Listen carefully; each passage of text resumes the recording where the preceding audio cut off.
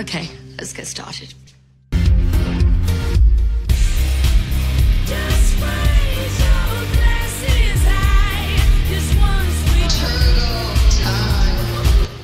Hey, me. Riley. Everyone, this is Turtle Time, one of the longest Bravo podcasts in history, and just as long as Nick Viall's podcast with Tom Sandoval and Tom Schwartz.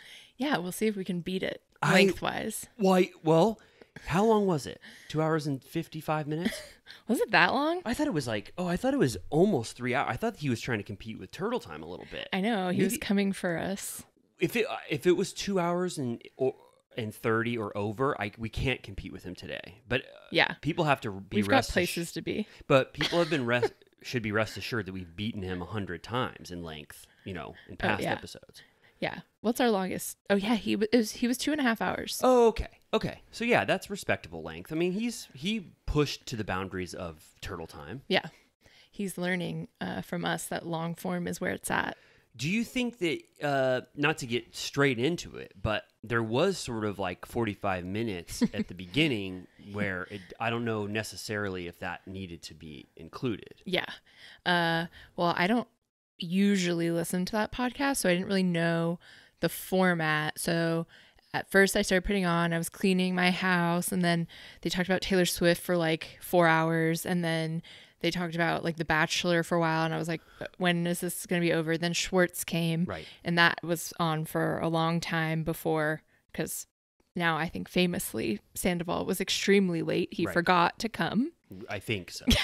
I think so. I think I'm still skeptical of of the whole process there. You think it was a, a scheme? It seemed a little um, cute Okay. and a little um, I don't know. The phone call struck me as sort of uh, performative. Interesting. uh, I don't. I don't know. I don't know what the hell was going on, but in my opinion, we didn't need to know any of that stuff. Right. I it just it would be my opinion is that if you and I had a guest on, let's say Tom Sandoval, and he was 45 minutes late for our recording, I don't think you and I would like record for 45 minutes talking about how late he is and then keep everything You would in. toss that Schwartz portion in the Well, trash can? He didn't have to start with Schwartz. He just Yeah, started But in their defense, they did not, to what they were saying, they didn't know if he was going to come.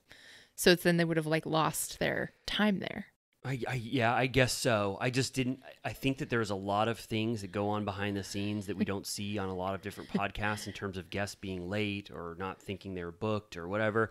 And I feel like they made an unnecessary meal of that whole thing to hype up the episode by making it overly dramatic. Yeah.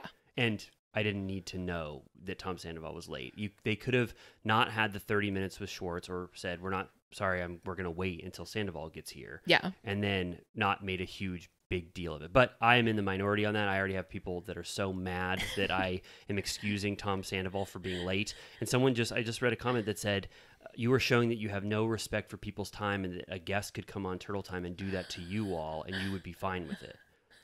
So I don't think so. Their ass would be out the door. I know. I just I yeah. So anyway, well, we got right into it. Um, well, I don't know. Is there anything else to say before we get into the the the news about it? I just I, I felt a little demoralized about my take on this Nick Okay. Viall interview. I didn't Tom know all that had happened. I was a little off the grid. I'm in the I'm in the trenches You fighting are. Thank you. fighting my uh, tick people on TikTok who say this was one of the best interviews they've ever heard in their life, and that I'm defending Tom Sandoval for criticizing Nick Viall's interview Style. style and Mm-hmm. tactics, and uh, it's the I've never been on this much of the wrong side of, of history in a long time. I, I can't even think of one take I've had. Even with the Erika Jayne take last week, I thought I would be dead in the water. Yeah. and I got more positive feedback on that than I did for this. Nick- Hashtag Rico gift card. yeah, yeah. You got one person that said you were the certified stinker, I know. That's but I liked that. Me too. It was fun. I, I just like that there's, you know, that that was about as bad of a take as someone can have, and there was still some,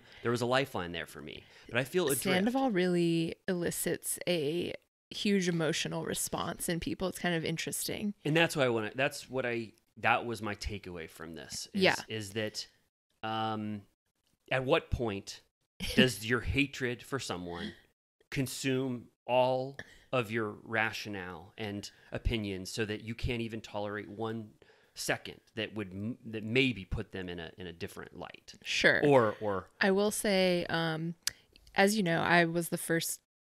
I was very early to say it was all a little much You on the hatred or whatever. you were right That said, he did not do himself any favors in this interview. Uh, as someone who is willing to go along with certain logic to be like, I'll hear you out. I won't do 100% Team Ariana 100% of the time just because. Usually she is the more um, logical thinker uh, and deserving of, you know, whatever she needs to do because of what happened. Um, so, you know, obviously it tends to lean on her side, but he's um not good at uh talking. uh, yeah i mean uh, okay He's okay, not articulate. all right Y- he's not articulate He said Um, fuck 4,000 times. Okay. I didn't know. I didn't notice that. I think I was desensitized to the F word coming from his mouth. Um, I have a question. And this is I'm I, I am advocating for the devil. Okay? Oh. Well, The devil, I know, Ariana said this, and she's right that the devil already has a lot of advocates. Is that what she said? yeah. The devil. Okay. But what at this point? At this point, I swear, I, I swear, I've heard every single version of an apology of what Tom Sandoval can say regarding Scandival. And I'm not defending him.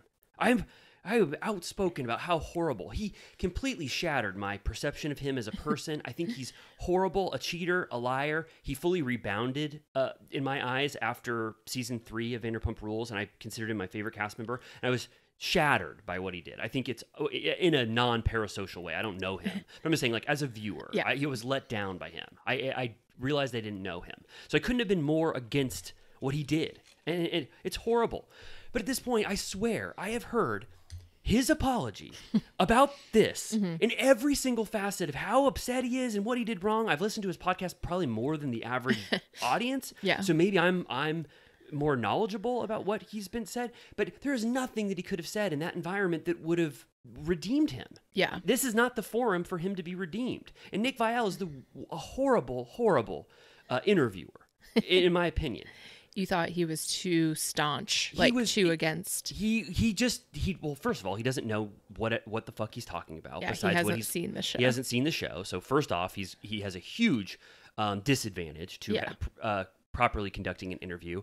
Uh, I also think his demeanor in terms of treating Tom like a piece of shit is complete posturing for his audience. Yeah. because he's more on he like employs Katie and Dana and stuff, and so he like wants to be anti Tom because he thinks he's serving his base. But I don't think he actually harbors those feelings because he doesn't know him at all. He Doesn't Yeah. even really know what he did. He never had this moral conundrum following Tom Sandoval's journey. He barely knows him. Yeah. So I just think all of that is posturing and fake. And I think he, I also didn't like that Nick Viall was like acting as if he was the moral arbiter of what a good human is in this instance. And in, in talking about like the advice he would give to Tom Sandoval to try to try to like save his soul the entire time. That's not really the the what an interviewer should do. Yeah. It kind of felt like he was trying to drive him mad. Yeah, a little bit. I, I yeah, I guess maybe it worked. People are like, "Oh, it's good that he treated him like shit." Interviewers should treat their guests like shit if they hate them. And I'm like, I guess. Yeah. I'm like I think that if um I know that they were doing each other favors doing each other's podcasts, so maybe Sandoval felt obligated because he had Nick Viall on his. No, uh, Tom. Tom is doing Nick a favor. Tom is doing Nick a favor. Tom just said, "Be reciprocal and go on mine before I go on yours." Okay. Nick wanted Tom on his podcast, obviously. Okay. He wants this. Well, I think that well I don't think that if Tom doesn't have anything new to say, any new revelations, any I don't know, uh any light to shed, he shouldn't do shows like this because all he can do is dig himself into a deeper hole.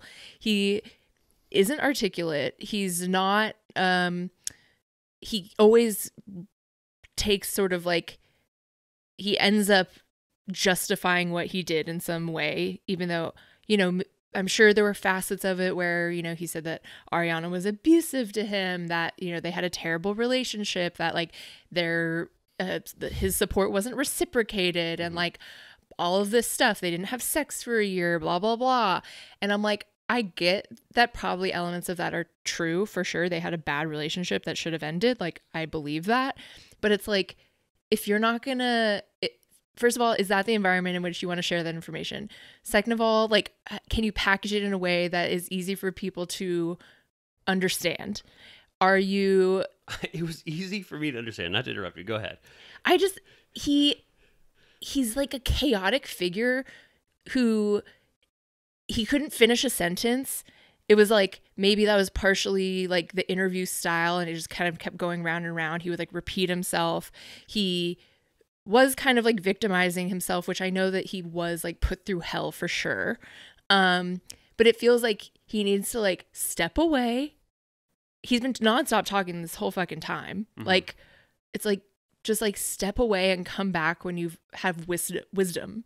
He like pretends that he has like learned and he's like, I've been almost kind of sober for eight months. And it's like, okay, so you like half ass kind of stop drinking a little bit and like But do we? I mean, do went we on world's toughest test and Right. like i just i don't know why we need to hear from him Well, because Nick or a- rachel Well, Nick asked him. You no, i know but why does he want to talk like what's he- because he's a performative man who agreed to do this podcast and sit down there and be asked questions. And he i i, I know like i know what people think he should do which is cry and say i'm so sorry i don't want to hear him cry well, okay, then he can't cry because people will say he has crocodiles here. So don't cry. Maybe have a little whimper in your voice as you start to speak that borders on crying and say, I am so sorry. There is no excuse for what I did. Absolutely nothing justifies my behavior. I will never do it again. Uh, and I, I can't believe the hell I put through Ariana. Uh, put her through and she can do whatever she wants to me because all of it is justified it's like those four sentences and then say nothing else well that's not fun to listen to either which is why i'm like just don't do it because you can't win. But so w- be smart. Okay yeah this goes uh, sort of this goes to my uh what's it called? Uh, it, it- this goes to my belief that i would rather a real chaotic unhinged answer that reflects how you really feel than a pr packaged uh i mean i was surely entertained. I was whether enter- that's good for uh his brand or Did- not did it- i don't know Did it? Okay, so this is I'm I, I like talking about it with you because you don't feel it all the same way as me, and I it's good to have your take on this. Was your opinion on Tom Sandoval? I'm sure he's he was he's in the you know the dog with house with you uh, you know with both of us as a as a cast member. He's a four out of ten on the favorability uh, r- ranking. Right? Did this at all make him less favorable to you or more? Not I assume not more favorable to you. not more. I feel like I actually give him more benefit of the doubt without him talking. like I can just like apply empathy towards him and then when he starts talking I have less. like I- like think about it. Ariana, you know, she's been doing she has been talking about this scenario a lot in the sense that she's participated in the brand deals, um, the um, you know, cocktail book. Like her career is currently based around the affair. So in that sense, it's not like she's not talking about it. But uh, we really kind of only got that one, like call her daddy. And then like she's been on like watch what happens or whatever. But she like kind of like doesn't really talk about it, which I think is like comes off so much better. Yeah, I think she is tired of even being asked questions related to Scandival. Like Yeah. she's on the other end of it where she doesn't even want to bring this up if interviewers weren't asking her about it constantly.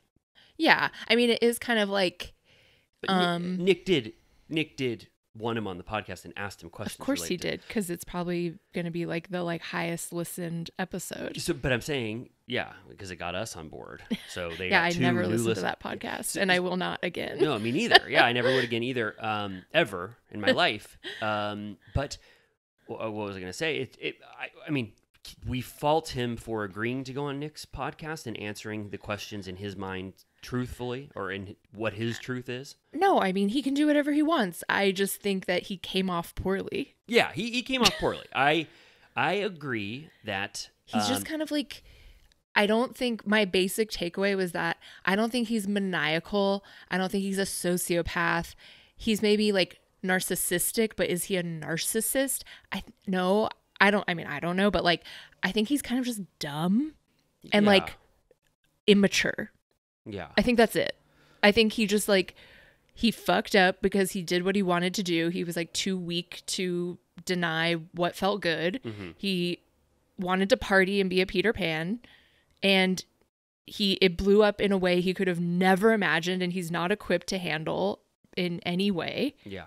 Most people wouldn't be, but uh I don't think he's even capable of like understanding what this whole thing is. It's like too crazy. Yeah, I get I, I I guess so. I think um I'm probably a little dulled to the impact of of Scandival now just because it has been uh, you know 10 Yeah. months. And so like hearing Nick Viall ask these same questions over and over again, the same five questions. Like do you Yeah. regret it? Right. Uh, do you feel bad? Are you really sorry? Why do you say a but after that word? I was just like, I have heard these Yeah. questions asked of Tom Sandoval 50 times. Yeah. And at this late at this late uh, stage of Scandival, it, it just I um, besides the new anecdotes that Tom Sandoval offered, which made him it did make him look bad. It did make him look bad. But I guess um, I guess ultimately, uh, I don't know what the takeaway is from this interview, other than uh, I shouldn't have probably listened to it, maybe because it made me mad uh, overall, and uh, I didn't learn anything new besides that Tom Sandoval like offered to buy Ariana's. I know. I loved the money details. I could have that should have just been about that. Yeah, So he um, offered her 3.1 million dollars, which is over a million dollars over the asking price or the original to stay in price.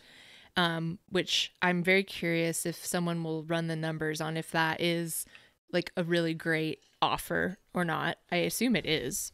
Yeah, I mean, I don't. Yeah, I think it's for Ariana. It's just the uh, principle, right? Sure. You know, and I'm sure it's. I'm sure it's. I don't know. I, I'm sure people will go. Oh, actually, no, it's not even close to what. You know. I mean, I agree with worth- him that she's being petty. Like, I think maybe she would say that herself. But whether or not you think it's a good idea as Tom Sandoval to go on public podcast and call her petty, uh, maybe not the best. So does it just reinforce that Tom Sandoval is a shitty person? And I think he's like it's a truly impossible position because there's nothing he can say to dig him out himself out. There's what no if he did what I, my strategy of crying, saying nothing I can ever do will ever, you know, fix the the wound I created. I have no excuses. There's no but here, and I want Ariana to do whatever the hell she wants to me to get over this. You know, and I'll do Yeah. anything to support her. What if he just said those six things over and over again, would and and bordered on crying? Would people be like, "Whoa, that's contrition"? probably not. Right. I don't. I mean, I don't. Yeah, I don't. I think I've heard that exact thing. Yeah. Um, so- Um, yeah. So I think it's weird because I feel like we've all slightly moved on as a community. And then now this new season, the weirdest thing about it is having to put yourself back into like May, June or Right. whatever and have to like remember what it was like at that time because you're kind of like, like, we get it. Like Yeah. we've like we've been through it already in real time because we experienced the entire thing in real time.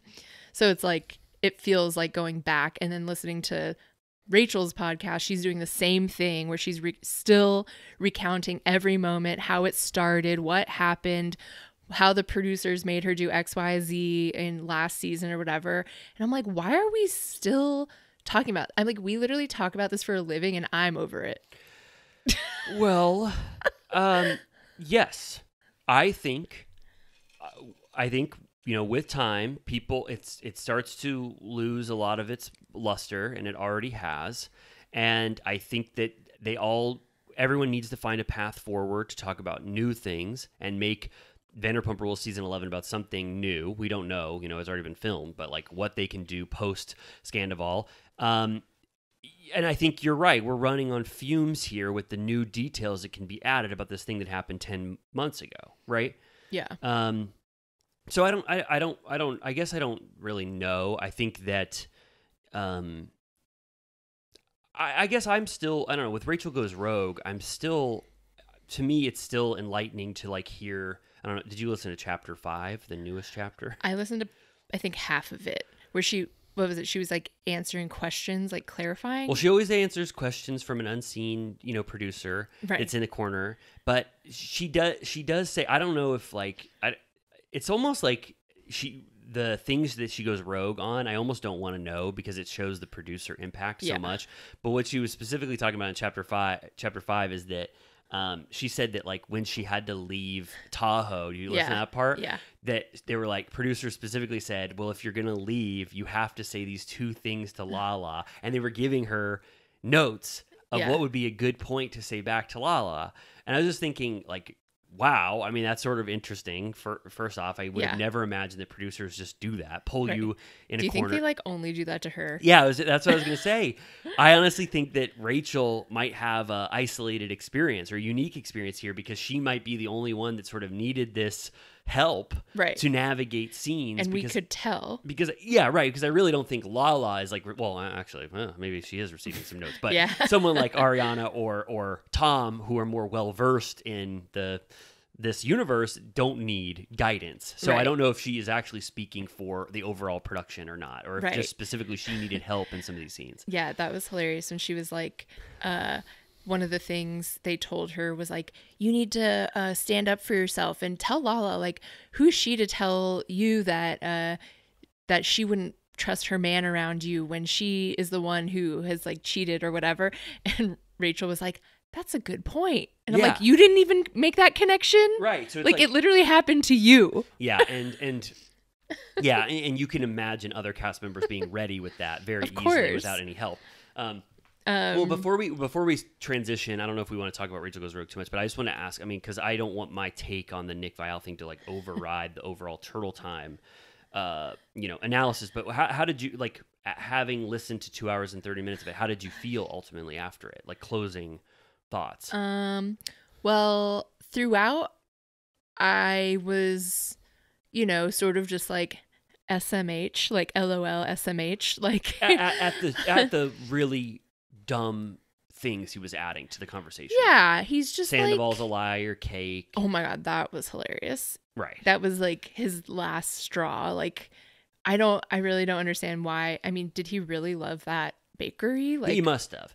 I think it. I think Sandoval's a liar, cake represented the corporate response Right. to Scandival. yeah, Like you know when like Wendy's will like tweet like um you know I don't I don't know if it's a really hot day out they'll say well no no sorry that's not a good example but whatever they they get in on like a pop culture Sure. thing like can you believe Christopher Walken on SNL he should have walked into Wendy's and gotten a frosty or you know what I mean it's like I I think he was more it was about the the corporate response using him who's a real person Right. as the folly of their jokes and that's sweetly, what he was saying about like um the like Duracell thing that she was re- uh, Ariana recorded in their house. Yeah. Um, he was like they were making jokes about nail polish and batteries, everything that is me. right And I'm like, batteries are part of the pillar of your soul. I didn't know he was such a battery guy until he said that, but he really identifies with those And uh, then- Duracells. Yeah, and then it took like a kind of a dark turn, which then left me feeling like icky and sad at the end, where he said that around that time when she was doing all those ads and he was just like a, the pariah of Earth, that he made Kyle Chan come get the guns from his house because Yeah, he was so in a dark place. Yeah. And I'm like, oh my God. Like, I mean, that's what I was talking about back then, where I was like, you guys, like, I swear to God, you were like very close to having like one or two deaths on your hands. Like, you have to stop. What's number two? Rachel.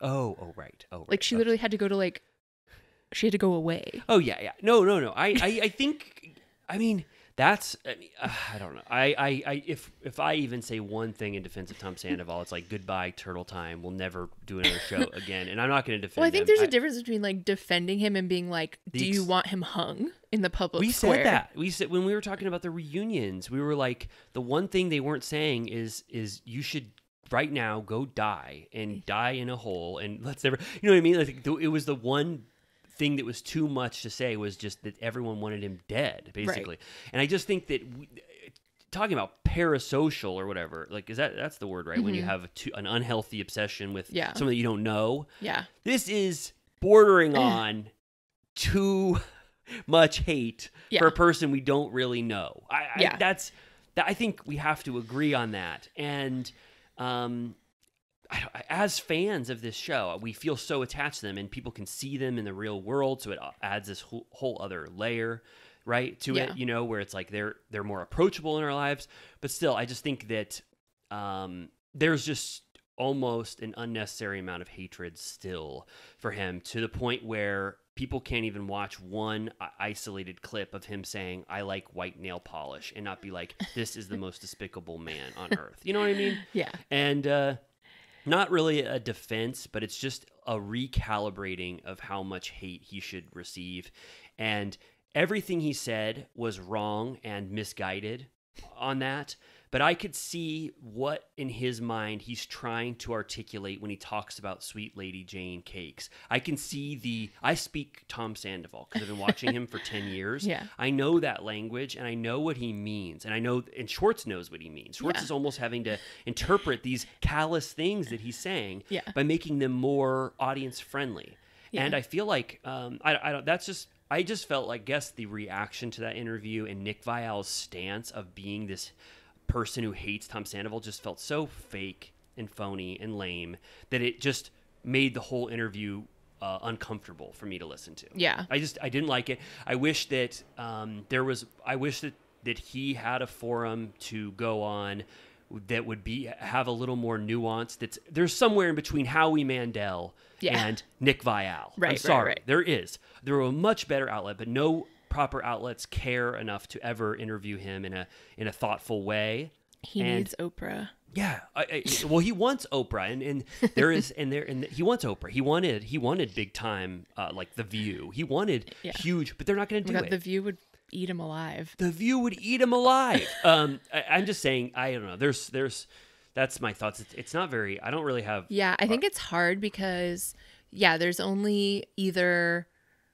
um coming for him completely or like Bethany or whatever that's Yes. questioning the, The- existence of the show and how toxic it is. Yeah. And I'm like, is there like somewhere in the middle that's like you can ta- like keep him up, him on the hook for what he did and that it was bad in just like a basic human level of, you know, cheating or whatever, but then also talking about like the public response and how hard that was because it was so insane and unexpected without totally uh you know ruining the fun of reality TV at the same time. Yeah, if only there was this outlet that was sort of lighthearted, but also objective, but knowledgeable, and could ask really insightful questions without being too mean spirited, but also get to the heart of some deep things. I don't know what kind of outlet that is. It sort of feels like, I don't know, is there any like beautiful podcast like that? But if there is, that would be great to possibly, I don't know. I just, this Yeah. was not, overall, this was a, a, a failure in my mind, and I was. I was bummed out that I felt compelled to listen to Nick Viall, Viall's uh, podcast. yeah, I did enjoy when Schwartz brought up Gypsy Rose though. Yeah, that was cool. that was I like that Gypsy Rose. That, that was at the hikes. I think this was like three weeks ago because they had just got back from Thailand. So that was Gypsy Rose fever. Yeah, he said uh, I think he described her as having a glow up. He said that. Yeah. Schwartz, Schwartz, said yeah. Gypsy Rose. I mean, that, that's true, right? Yeah. Uh yeah, he was like, "Man, is my episode coming out right after Gypsy Rose? I can't compete with that." Oh, that's that's classic. Um, Schwartz. What's that called when you undercut yourself? Um like Humility, right? yeah, his classic aw shucks. yeah, that's all shucks.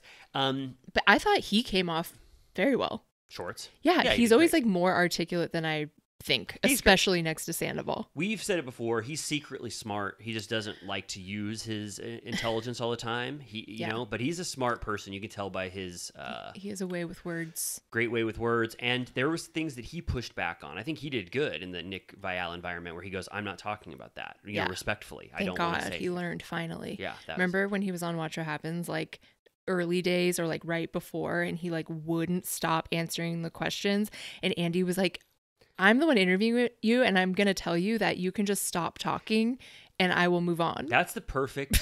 that's the perfect uh, example to bring up about how I feel about this Sandoval interview. yeah, I enjoyed Schwartz's erratic, um, honest, chaotic rambling of truth, or what he thought was Sandoval? the truth. No, no, Schwartz on Oh. Watch What Happens. That's what Oh. you're talking about, right? yeah. Sorry, I, thought you switched back. really, really loved that Watch What Happens live appearance. It can, compared with some prepackaged garbage where someone is Sure, tight-lipped. But there's a difference between being entertained by someone uh potentially like not making a fool of themselves but like fucking up their life with their answer. Like But we he- enjoy watching that, but it's also like but you're like why are you doing this? Yeah, I want them to do that. I get, I get why someone in your back of your head, you're saying, how could this happen? Why would someone do this? Why would they give us this fun, freewheeling conversation with no um, limit? But as a viewer, an audience member, and someone who we, I think we have come around on Schwartz, we we started to forgive him. Wasn't like. Don't you appreciate uh, open honesty and, and Sure. the, the but then we'll watch later why uh Katie doesn't talk to him anymore because of what he said. yeah You right. know? yeah I, I like he finally this time was like i don't want to answer that because we're in a really good place. I'm like you've learned. Like that's not entertaining. I want him because like he started to sort of talk shit about katie and say that she's really judgmental uh and i was like oh shit is he gonna pop off? And then he was sort of like i mean that in a good way. And then he was like i'm done. Yeah, I, I, I like that moment. Um, if also do you get the um impression that maybe um similar to like olivia and austen that maybe katie's meaner to schwartz on camera than in real life yeah, I think so. I think I think that is I I think that is more of their dynamic. You know, a little sort of uh, what's that called? Like uh, yeah, like how Katie treats him now is like probably representative of how she treated him in the relationship for the most part. yeah Uh, but are you saying like was that their vibe the entire time? Like I don't know, like on the new episode when she comes to pick up the dogs or whatever, and he's like, I mean, obviously they were intending to film a scene together, so it was bullshit anyways. But he was like, "Do you want to hang out for a little?" And she like rolls her eyes and is like, "Uh, sure." And it's like I feel like she can't let the public think for a second that she enjoys his company. I think so. Uh, Yeah. But then in in reality, she's more um, what what like um would po- po- like have the opposite uh, reaction or or like want to spend time with him. Yeah, or maybe that's just how she. I mean, has always been. Like, I mean, Lala said on Watch What Happens, and he- like she was like, "Yeah, that's their dynamic. She treats him like shit, and he loves it."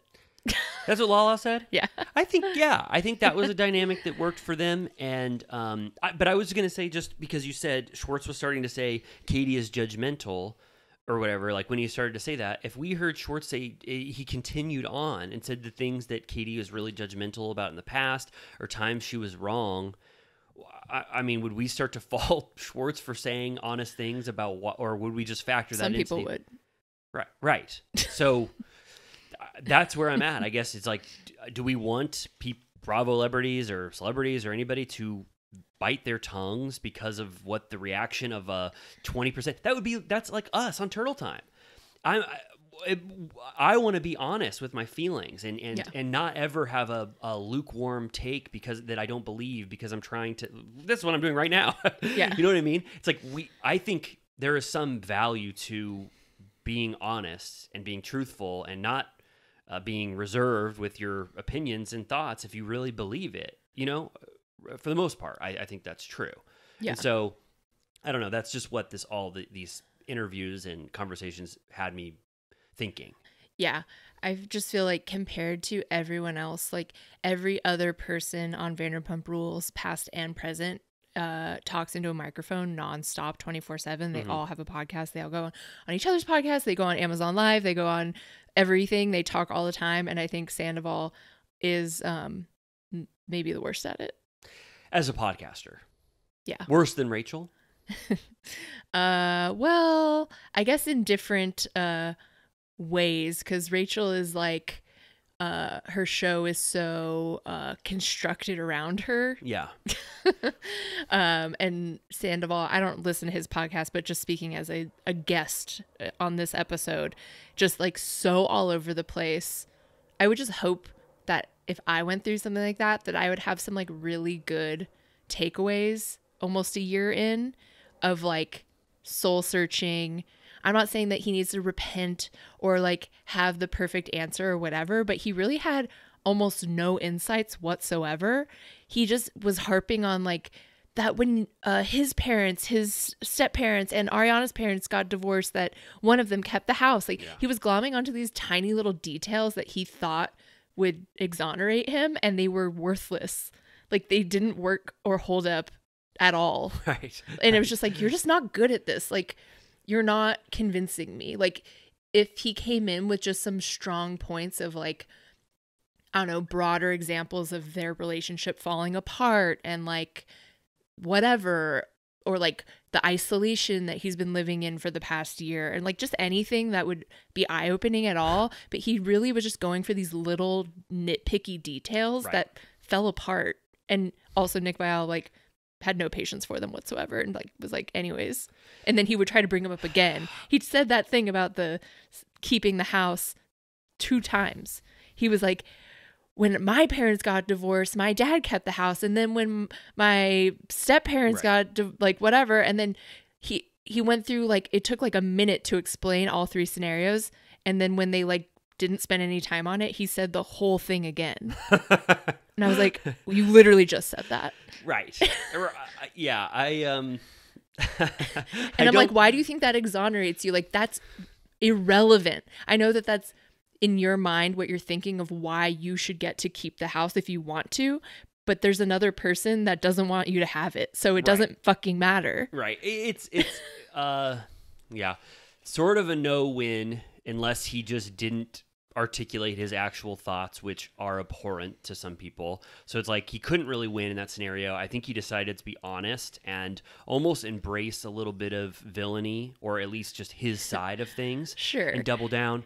Yeah, it's just like his side is so immature a lot of the time where he's like I put in tens of thousands into that house to build a custom gym. And now if I move I have to buy, build another gym? And it's like no one gives a fuck that you spent 10 grand on a gym and that you have to build another one. Like who fucking cares? Like are you kidding me? Like I understand that that's annoying but like that's just the fucking facts of life bro. So maybe keep that sort of small potatoes shit out of the conversation because I mean, it was funny to me, but like, it's not a good talking point if you're trying to defend yourself. Okay. yeah, yeah. Well, we- should wrap this up. My thoughts are that it didn't make me think of Tom Sandoval any worse when he started to say these like things that can be construed as horrible and him being petty in a way. You know, Yeah. he's also being petty in his own way. Um, but I, I don't. Yeah, I guess I just don't know if this interview or any interview is ever going to be the outlet in which Tom Sandoval can be redeemed. So maybe that goes to your point where it just don't say anything for a while. Don't podcast. Let Vanderpump Rules be your judge and jury. You Yeah. know your performance there, and see if the audience comes back to you instead of digging yourself into a hole every single time you get the opportunity. Yeah. Does that makes sense? yeah. I mean, like, look at Schwartz was saying that he had to give up a sub 3% interest rate. Like, is like, that hurts worse than anything, worse than your fucking gym. You'll never see that again in our lifetime. He said that. like, yeah, that's fucking crazy. Like, that's like insane. That's Right. like the best thing ever. And like, he just was mature and was like, we're getting divorced, so we're selling our house, and we agreed to do it, and it was really sad and it sucked, but like, Yeah. that's the fucking facts. Yeah, Tom Sandoval was a little petulant um, and exasperated uh, during this time. So he said things. It was almost like his when he got exasperated at the reunion, and he said, "Yeah, it was so hot. uh, having sex with you in your t-shirt when he like it led to like the worst outburst because he was like Right. frustrated and defeated and i think nick got him to a defeated place where he just started saying any shit that could possibly justify his behavior um, Yeah. and I, what I, I get i don't know the fact that we can talk about this for almost 30 minutes is maybe it is a very powerful conversation and i'm thinking more about it you know i don't know Yeah. than i even thought i would Yeah, I think it made to me it made Schwartz come off very well I in was already- comparison. Yeah, I was already in the tank for Schwartz. You know, For sure. His post, his post uh, height of Scandoval. Once we got the, once he loved our Coors Lights at um Oh, yes. at Tom Tom and he bought us all a shot. I was sort of like Schwartz, you just bought my my um opinion of you back. Yeah. Um, but I don't know. It was interesting, certainly. Um, it just kind of bums me out. Like It bums me it's out, just too. kind of a bummer. Like he's just like clearly still struggling with it all. He's kind of like spiraling out. I think he's gonna have a midlife crisis for like ten entire years, if not just through the rest of his life. Like I don't see him growing really, which I'm not looking for growth from Vanderpump Rules cast members necessarily. Um, but it's kind of just like sad. Yeah, yeah. It was it it, uh, it could give sad. I think, um, and yeah, I just I guess my opinion wasn't swayed of Sandoval, and I don't know if it ever will be, but it will probably be from watching how he acts on Vanderpump Rules and not like his podcast or him his appearances on podcasts. I know. I'm uh yeah, I, I'm curious to see how he'll be deployed this season since we didn't really get a peek yet. Yeah. Did we talk about Rachel Goes Rogue enough? Besides the producer's fingerprints, uh, you know, that are sort of uh, guiding Rachel through Vanderpump Rules, Yeah. Which we just said could be unique to her experience. It's very likely. Yeah, that- that's how I felt listening where I'm like, yeah, I don't think that really happens to anyone else, at least to that degree. she's she's she's still grappling with her version of things and what she feels like she was in chapter 5 she said something like when she got to guys night which was like she had to tell you know uh, lala and everyone that she's going to guys night and she said that Tom Sandoval gleamed at her with big bushy bright eyes. I don't know if you got to that part. And she goes she found out later that he was possibly alerted that she would be coming there.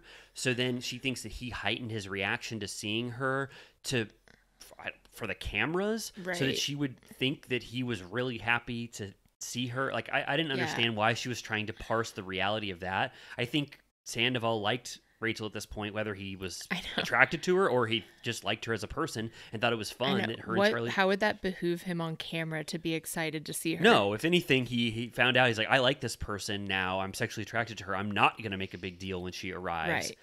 Did you like his comment about how uh, he was like, me and Ariana didn't have sex for a year, and then this uh, chick comes in and uh, does the uh, the whipped cream bikini, and then he's like, you know, from um, Varsity Blues. i was thinking not another teen movie did you ever see that Same A difference. parody of that. Yeah. um, that was an intentionally provocative statement. he definitely had it prepared, right? Like, yes, It was such a specific example. it was, and it was very demeaning to Yeah. Rachel. I mean, that was one of the worst things he said. Do you think she really did that? Yeah. yeah, I immediately flashed to uh, envisioning that, not in a weird way, but just because he he painted the, the picture. But yeah, I think he arrived uh, outside of his house that night, um, you know, before they made love because she was wearing full whipped cream. No, I think he just meant he meant Right. how sexually enticing Rachel was to him, which I felt was a low blow. That, that Rachel at this point Like, was she so was- was throwing herself at him. That's Uh-huh. how I read it. Uh-huh. Not that she literally put whipped cream Sure. over her naked body. Right. Yeah. I thought. I, I thought that was I thought that was a little rude, and that's why I was like, "Are you digging in? Are you being Are you digging in on being the heel here a little bit?" And like, Right. like because there were some statements he made that you absolutely did not have to say. Yeah. and it only had to be because you're truly thinking it, and you wanted to. You you are so confident in your take that you think some people will love it, or do you just are you embracing a little bit of this bad boy Right. image? Like. I don't know. I, I didn't know where the line was. The varsity blues thing, that sounded like that sounded bad. Yeah. Uh, yeah, I wonder what she thought when she heard that. Um, yeah, it just felt like he was like plucking from all over the place, and then there could have been like a deep and sad moment about like his friend who died that comes up in the premiere and he was immediately like actually that is why i was late He said that? yeah he was like i cried all night that's why i was late Oh, wait, is it like the one year anniversary? um not yet i Oh, think it it- was may You, he said. Oh, sorry. They he said that the night before they recorded he thought about his friend's death Oh. and cried for hours and he was like that is actually why i was late even though when he answered the phone in the morning he was like oh hey what's up Yeah, wow, I totally missed that moment. Okay, so he tried to give some nuance to why he was late, or add, Um, add some rationale. Yeah, and it's like if he had any depth to anything he was saying, I would give him a mile for an inch. Like I really would. Like if he was like he's sort of said over the months like I was drinking too much, like I was partying, like whatever, like I was stressed out because of the bar. But it's like if he's like truly in therapy, like don't you think a year in he would be like I've really lost my sense of self these days. Like, my relationship was failing. I was in over my head with debt. Like, I was just partying to do anything to not think about my impending doom or like aging or Yeah. like whatever. Like, just any clarity on like his mental state. And I feel like he just talks about going to therapy, but then he like, every time they were like, What have you learned? He goes, What have I learned? And then they're like, Yeah, what have you learned? He goes, What have I learned? What haven't I learned? Wow, the feeling when you uh, got through therapy and you aced it, right? It's like, what didn't I learn there? Um, he did say uh, one thing I just that just came out to me is that he did say something that everyone will sort of be on his side about, which this was like this was perfect. He said um, he didn't tell Ariana that he was cheating and that he wanted to leave because he thought he, for sure she has her confessionals to film for Vanderpump Rules, so it would be horrible to break up with her so that she would have that in mind when she was doing her confessionals, talking about earlier scenes. Right. I thought, okay, well, I, I, sorry, that's why I'm sort of defending Sandoval because that was the perfect explanation for why he didn't tell her, right? I guess. No, it, I'm just kidding. It was. It was. That is. That's. I mean. That. That is being so producer minded that you're letting. That was it was just total bullshit. Yeah, you're letting. You're letting your your view of Vanderpump Rules completely alter decisions you make in life, which is like Right. the exact opposite of what you should be doing. What do you think they would have done if he would have told her before they were done? Like would they, have worked it in? Yeah. Yes. Uh, yes. They would have. They would have not let Ariana do confessionals where she just learned this. Or do you think she would take it to the grave and just work her way through it cuz she's sad anyways? Uh, yeah it, no it was it was a total excuse it was a total excuse like him uh saying he was crying about um his friend ali i think his Yeah. name is about about being late it was a total i've had time to think about this this is another justification because there's that was that was ridiculous i mean i think that was another example of you think this is uh providing some explanation that is actually horrible or worse than you ever thought it would come off The fact I kind of like forgot that like he was cheating while they were in couples therapy, yeah which Oh, yeah. like that sucks so bad. I mean, the details are h- horrible. I mean, we haven't even. We, there's details we're not even saying, which I don't want to get into, that are even worse Yeah. about this entire thing. So there's no explanation anymore that he can, you know, really give. Yeah. It's it's just no one is going to buy because the decisions that he made. There's no excuse for why he didn't say before he started to cheat. You Yeah. know? Yeah.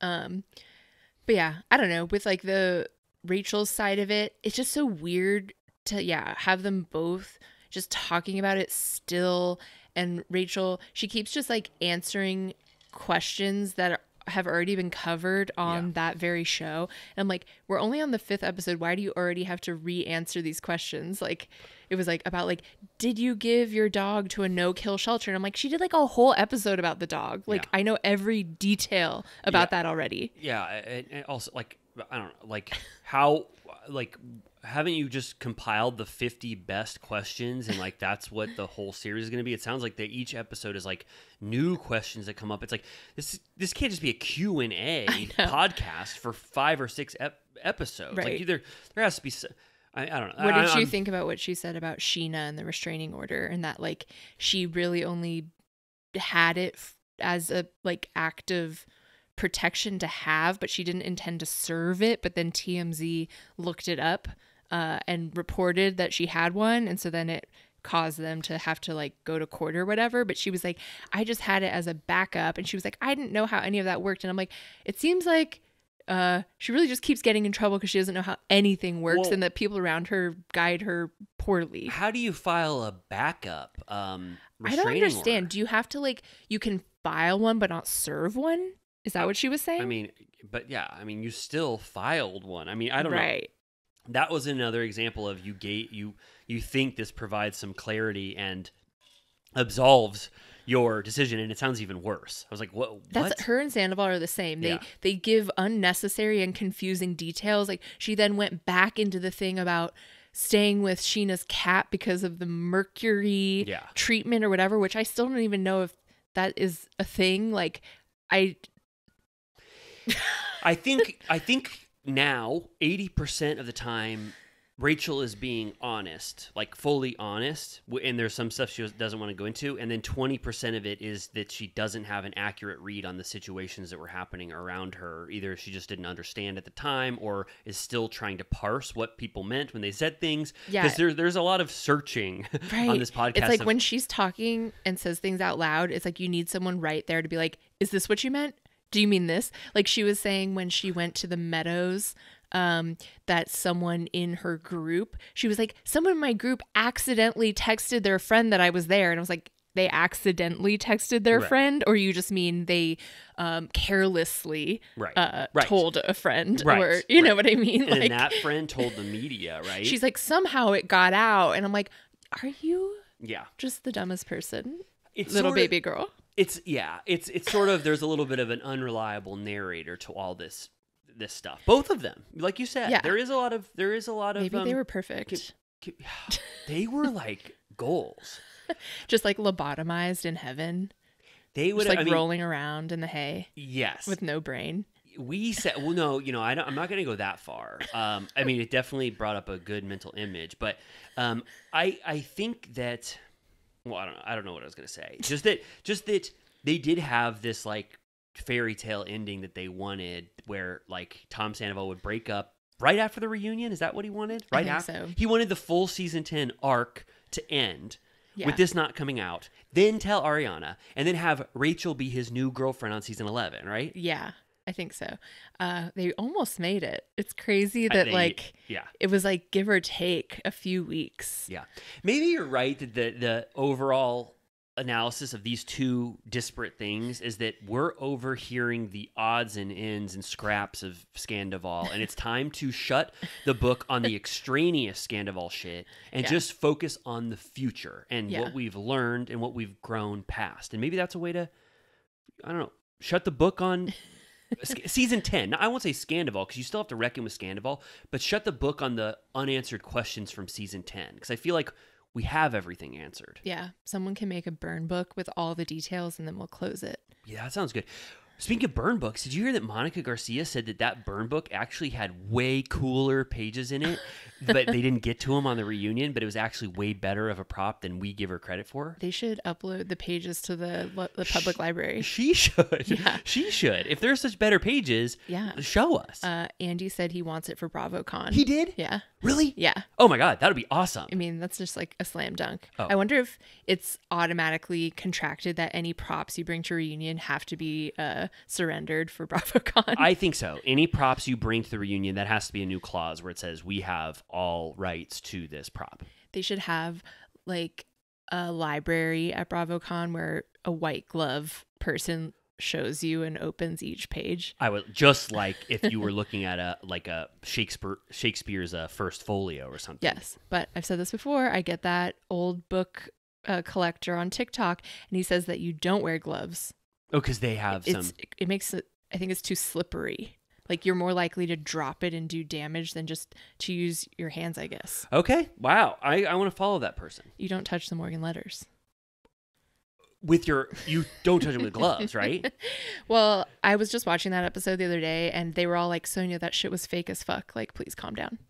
Those le- those letters were recreations. That's what they were telling her. I don't know if they were just trying to get her not to freak out, but they were like, "Yeah, it did not look real." Did they ever say what he was writing in those letters? I don't think so, but uh, yeah, I forgot how cuckoo Sonja goes in the that Morgan house. she gets really upset. It, were, they were J.P. Morgan's letters, or uh, or a Uh, or a descendant. it was I don't think it was JP, but it was yeah one of the family, and then they implied that a lot of the Morgans were married to each other. Oh, well, that's. I mean, I understand.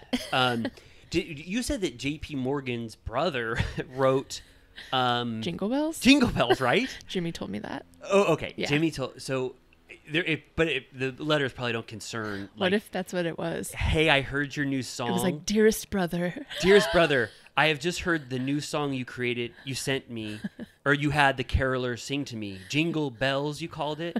I absolutely love it. It's a Christmas miracle. It's okay. okay. Well, I wanted to. If you, if I, this was longer than I thought we'd ever talk. I feel, I feel adrift with my take. Were my takes too outside of the norm of turtle time, or was I just? I think I had to talk to you to process my feelings. To Is get o- back on track. Is that okay? I was isolated. I was adrift. I lost myself, and then I talked to you, and I feel exactly how you do. Is that okay? we feel how every listener feels. I feel how you feel. I thought about it, and I feel how you feel. And anything I said contrary to what you think is wrong. Right? Is that okay? yeah, don't be mad at us, turtle cuties. We have to parse out our feelings. Yes. Um, Let us parse. but yeah, we'll get back into this whole thing. I feel like on when we talk about the new episode Yes. just now, we'll talk about where Ariana's at and her anger level and how we have to get back on that page again, even though it kind of sucks to have to revisit the dark times. I need to get back on that page though and feel how I felt then and process everything through the lens of season 11. And that's that's how I feel. Yeah. Now, Amy, I wanted to ask you before we get into Vanderpump Rules and our recap, Yeah. I wanted to say something. I wrote three more pages of the reality of a scandal, Oh wow. and I wanted to see would you ever permit me to read them as quickly as humanly possible to you? And if it completely sucks, we'll cut it out. Yeah, and I, now I, I realize I think you are so sensitive about Sandoval because you've been writing from his POV, and it's like how an actor, even if you play a serial killer, you have to understand them. Thank you for saying that. It's like when uh, Hans Landa in Inglourious Bastard, the guy who played that character, whatever that guy's name is, Christoph Waltz. Christoph Waltz said that he finds his character endearing and he thinks there's actually some good in him because he was playing him. That's exactly what it was. so thank you so much for allowing some, um, you know, what is that called? Al- allowing for the truth. Of, the truth of what happened to come Well, out. That's true. I think um, Christoph Waltz won the Oscar for that role. So I know, but I think that characters, actors can say, this character I'm playing is an absolute monster and I find no redeemable merit. And also, it's no, you can't get inside the mask that way. But Hannibal Lecter, Anthony Hopkins wasn't saying. He's a baller. I, who? Hannibal Lecter. He's awesome. I He's love a man Hannibal of the world. He's like a bitchy queen. He likes to wear flesh and eat it, but he's funny. right. No, no, I love Hannibal Lecter, and I think he's fun, and I would, I like him, and I would be friends with him, and I don't think we would ever offend his sensibilities where he'd want to eat us. I'm just saying. Yeah, he would be like, "You guys are cool, actually." Yeah. Right. He would love us. I could imagine. I'm Just kidding. He would read us for filth. He'd be like, "Your mother didn't breastfeed you. You're disgusting." I would. I think there's truth to what you said, but I would never offend him if he came wearing that um, mask or whatever, and we were able to get him out of the penitentiary to sit with us. I would not offend him. Right? No, because the thing is, we would capture him in his like Panama hat era after he gobbles up that um Ray Liotta. uh. Isn't that a, the different movie? Oh, I'm sorry. Oh, oh, You oh, skipped oh, oh. to a different Oh, sorry. Chapter. sorry, not to digress. I was thinking about Hannibal, the Ridley Scott film. You're talking Okay. about the very end where he sees um, that uh, Crichton? shitty um Crichton? therapist or whatever. No, no, he's or the, the he's the, cop. warden. He's yeah the uh yeah the, the like director, the- psychotherapy. Cri- Crichton? I don't remember, but he it's clear that he's gonna go eat him. But Yeah. he's wearing like a linen suit and a Panama hat, and he's like about to go enjoy the rest of his life, and you're like, yes, Well, you know what he says that makes you know that he's possibly going to eat him. He goes, "I'm having an old friend for dinner." it's the best. And then she's like, Hannibal, like Dr. Lecter. hey, Dr. Lecter. Um, Silence of the Lambs is I literally top five of my favorite movies. It's goaded. but it's so good and so popular that it almost makes you doubt its its uh greatness. No, that's like the It's best kind of movie where it's beloved by the popular culture and it's the It's bomb. Perfect. It's my favorite movie. It's like The Godfather, where it's like I don't even need to feel embarrassed about loving Silence of the Lambs. It rips so hard. Well, speaking of Hannibal Lecter and that, I wrote two more pages of reality of a, Okay. scandal, and I'm going to read this quick, R- Okay. quick as hell. But just you can stop me if you have any questions. Okay. Okay. Okay. So um, it was title card, "The Reality of a Scandal." Last last week, that's what it said. this is right after the title card. Okay. Okay. Fade in. Interior. Tom and Ariana's house. Day. Ariana sits alone at the kitchen island, still tired from a rough night of sleep. She's playing an episode of her favorite podcast out loud on her phone. She laughs. But even the humor of a very good podcast can't overtake her feeling that something is wrong. She looks over at the espresso machine and then out at the backyard. Through the glass, we see Tom Sandoval sleeping outside on a patio couch using a pool noodle as a pillow. Ariana gets up and opens the back door. Ariana. Tom, wake up. Tom wakes up slowly, still in the throes of a deep sleep. Tom. Hey, Dumpling. Good morning. Ariana. I'm not dumpling this morning. Tom. Ariana. I- I'm sorry. Ariana. I've been hearing that a lot lately. Tom. We went to the Abbey after you left. A few people com- came up to me with shots. I got a little lost in the vibe. Ariana. You were already lost in the vibe at Tom Tom. You've been lost in the vibe for months. Tom, you're using a noodle as a pillow. Tom looks down at the noodle, barely able to open his eyes. He smiles at how ridiculous it looks. Tom. The door was locked, and I think Guillermo took my keys. I should have listened to you last night. Once I untangle myself from this pool noodle, can I make you a dumpling latte? Ariana looks at Tom, helpless and hungover, wrapped in a pool noodle, and softens toward him, against her better judgment. She doesn't answer, but walks back inside and leaves the door open for him. When Tom is alone, the smile drops from his face and concern takes its place.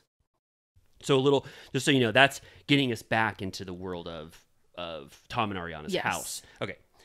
Interior, next scene. Interior, Turtle Time headquarters, day.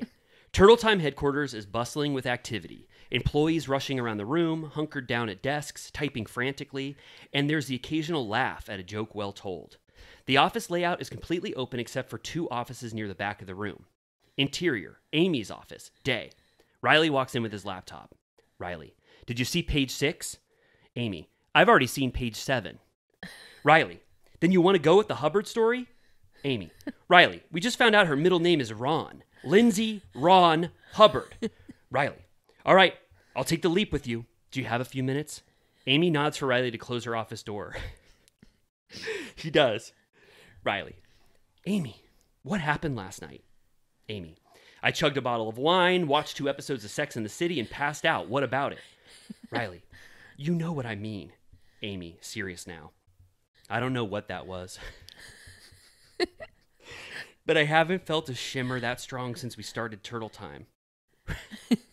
Riley, not since he showed us how to control it. Riley, it's making me cry. Riley looks at Amy expectantly. Amy, Riley, no. Riley grabs Amy's coat off the coat rack and hands it to her. Riley, we have to tell him. Amy, God damn it. She gets up and follows Riley out of her office. Exterior, freeway overpass, day. Various cars speed past, you know, on the freeway. Exterior, under the freeway overpass, day. Amy and Riley poke. Amy and Riley park their motor- motorcycle near a large tunnel under the freeway.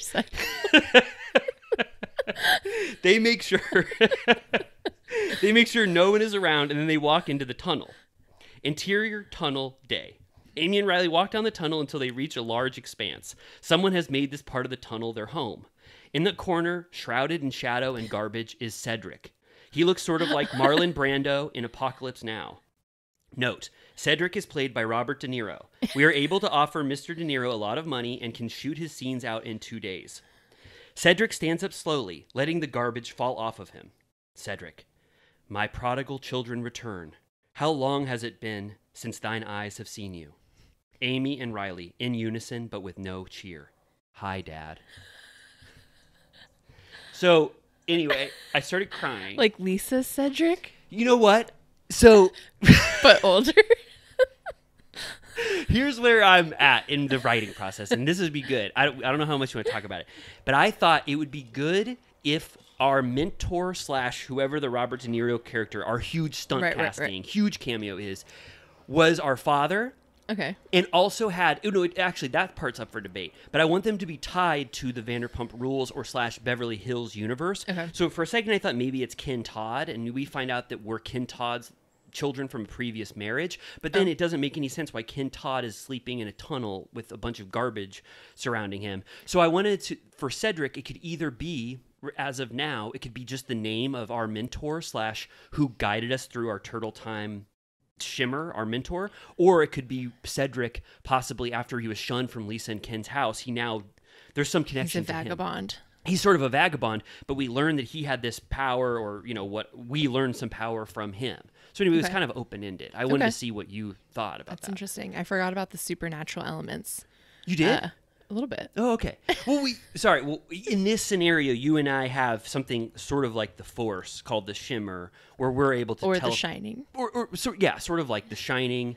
Is um, giving Doctor Sleep. Yeah, exactly. This in this universe, you and I have telekinetic powers that we learned from this person who we're just visiting now in the tunnel. Can I wear a steampunk top hat like Rose the Hat? I want that more than anything in the world. I love Doctor Sleep and I love Rose the Hat. well, anyway, I, I don't. I hate to just take your time on this if it's not if it wasn't beneficial. Did you appreciate those three pages or was it too yeah, long? it was good. The pool noodle was a great detail. Um, the dumpling latte also, I forgot that that was another detail that Tom unnecessarily brought up yet again that he made her dumpling lattes. Um, so that's part of the lore that he will not drop. Um, do you think our motorcycle would have a sidecar like Tom Tom? So I didn't want to go too on the nose. Okay. I wanted us to just be cool. Just so you know, I pictured the Bronson um, underpass. Oh, you did? Yeah. I searched underpasses just to make sure my terminology was correct. Close also, to Schwartz and Sandy's. Also, there's a great Hollywood uh, in the movie Halloween Ends. Michael Myers lives in a tunnel. Oh, um, yeah. that, I saw you, that. you saw Halloween Yeah. Ends? Did you like it? Um, I honestly I watched it at home and was kind of like Nonplussed. uh I like wasn't really paying attention. Okay, all right. Well, That's why I always see movies in theaters because I can't be trusted at home. well, I wanted to incorporate tunnels. Uh, you know, and I like that we have this shimmer. Anyway, I don't, we don't need to talk about it. But if you want to, you know, send me any notes on it, and then I'd love to Okay. write the rest with you if you ever have time. Great. I'm gonna redline the hell out of it. Okay, is, are there things that you hate? No, no, no. It was good. I liked our the newspaper atmosphere. Do you think we can incorporate a cartoonist? Yeah, of course. I want Turtle Time Like. Zodiac? I, I was thinking exactly. I was thinking. I don't know. I was, I was thinking Facebook early days from Social Network as sort of this open, like you know, youthful vibe where people are throwing uh, bean bags around or whatever. Yeah. Like, but also Zodiac is great too. I, I like that. More of like a, a what is that? The '60s or '70s? More of like an entrenched. Yeah, like all the newspaper- President's Men or San Francisco Chronicle. Yeah, type- exactly. I, I like that more than the than the entrepreneurial. I want it to be more outdated and silly. Okay. Okay, I like that. Good. Okay. Well, so was that successful? Yeah, I mean, you're really making progress. Okay. I mean, it's six pages, and we, I, like I said, we only have to write ninety of them, so we're basically right. very close to being done. I love that. Okay. So now, oh, do you want to take a certified turtle piss? Do you need to go? You don't. I'm on the edge. Okay. No, I'm I'm on the edge. Um, I'm on the edge. I was just trying to think of the song that says "I'm on the I'm on the edge." What is Um, it? well, there's Edge of Glory by Lady Gaga. Oh, okay. I'm on the edge. Yeah, right. I was thinking of another one. Um, but anyway, it doesn't matter. I could actually I could blow through, Okay. and then maybe we can just stop. You know, halfway through for really. If there's an long. emergency. Yeah, and what's and I have a you know I, we already talked about it. I, I think maybe we can keep this discussion to about forty five minutes. Do you think that's feasible for us? We'll see. It, it definitely doesn't seem feasible given how much time we've talked about those podcasts and everything. But we'll we'll try. Okay. Okay. Um, so we are back. Uh, this first episode of season 11 is called Notes on a Scandal, which is that a direct reference to the Cate Blanchett Judi Dench movie from like 2006? I think it has to be because it immediately felt uh, like a familiar title to that me. movie rocks ass. Have you seen it? No, It's Judi good. Dench and who? Cate Blanchett. And it's called Notes on a Scandal. Yes. What's the scandal in this Um, uh, scenario? I think it's that Cate Blanchett fucks a student and Judi Dench knows. Cate Blanchett, who was in Tar, Yes. fucks a student, and Judi Dench sees him. Yeah. She either sees or finds out and they they're confidants, but it becomes a strange dynamic Yeah. like a potentially like um maybe queer dynamic between Judi Dench and uh, Cate Blanchett, but one way, and it's um it's just like ugh, it kind of has that like um almost like match point energy, Yeah, okay. Okay. like sort of just like a small little drama. Okay. I like You that. know? Okay. I'll It's watch it. good. Yeah, So I thought this title was actually good, you know, considering a lot of horrible Bravo titles. This was good, but if it's just a direct reference to a movie they know that said Scandal, It's kind of an it, obscure movie too. Yeah, but I, I did like it. Notes was it notes on a scandal? Yeah. Well, before we get i before we get into it, because like we'll go scene by scene and parse through it. But I wanted to ask you, like, just generally, like, because this is a big deal. It's Yeah. the Vanderpump Rules premiere. know, can you believe it? no, We already watched it. I, yeah, I mean, it kind of says something because it's like I don't know. I have thoughts about this, and I'm going to be Yeah. very honest. But like, how did you feel? Season 11, episode one. You watched it twice. Yeah. How did you feel overall about this being back in the Vanderpump Rules universe with this episode? Um, you know what? It was kind of like a low key episode, but I kind of appreciated that. I I don't know that I had the energy for it to be like off with a bang, to be like fully dramatic and chaotic from day one. So I kind of liked that it was kind of a chill episode, Okay. just like getting you back into the setting, sort of reintroducing you to where everyone's at, where they live, who's cool with who. Like they did, you know, some reminders on um yeah, like who's blocked on Instagram, who not talking to who, whatever. And it was kind of just like easing back in, Yeah. which I kind of liked. Table setting, right? Yeah, Is that what like it was called? just chill. Yeah, I think I have um over I overhype premieres for some reason, but Yeah. Bravo premieres for the most part are usually like this. Yeah. Slow and steady. And you saw it at like a raucous party, so it was like Vanderpump Rules starts now. Whereas like, I was I watched it at 5 p.m. on my couch, and I was like, la la la. Right. Yeah. So maybe my expectations were high. I'm not saying it was a bad episode. I'm just saying that, like, for me, I, I did like being back with everybody and seeing where they're at now. And there were some fun, you know, moments. But I guess having like the one huge moment be what it was, which we'll talk about when we get to it.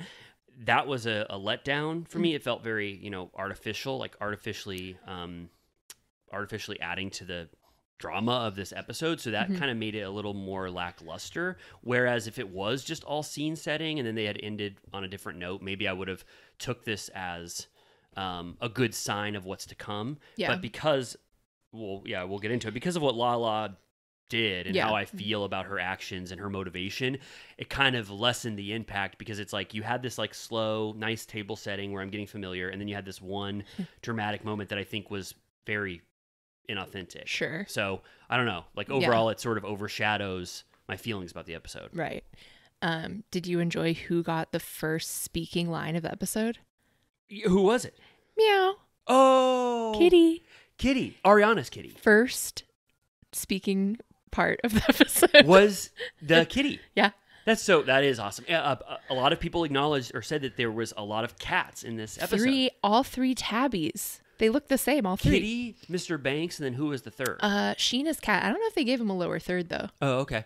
Well, then no, that was very exciting. I, I honestly didn't realize that it started with a meow. I loved it. That's really Um, sweet. Also, we should acknowledge that the first, the intro, the first uh, setting is something about her. It um, was despite it not being open. Right. right. Yeah, I don't know how they're going to handle uh like all of the stuff they're doing towards something about her and having it in the intro and and how are they going to make like a button on the end of this season without it ha- having opened again? Right. You just know, looking at it, that they've, while they talk about it, you're like, they've just spent. I would love to know the actual rent uh, Yeah. for over a year. Right.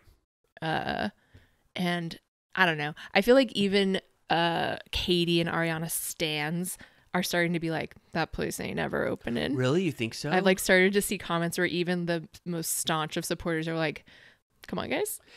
I think I think it's gonna. Oh, I think it's going to open, but this at this point they've waited so long that it can open in June, and it's not a big deal, and have it as part of the season twelve, if there is a season twelve. I think Right. there will be, but um, you know, why open it now? It's Right. going to probably coincide with you know the next time they're filming.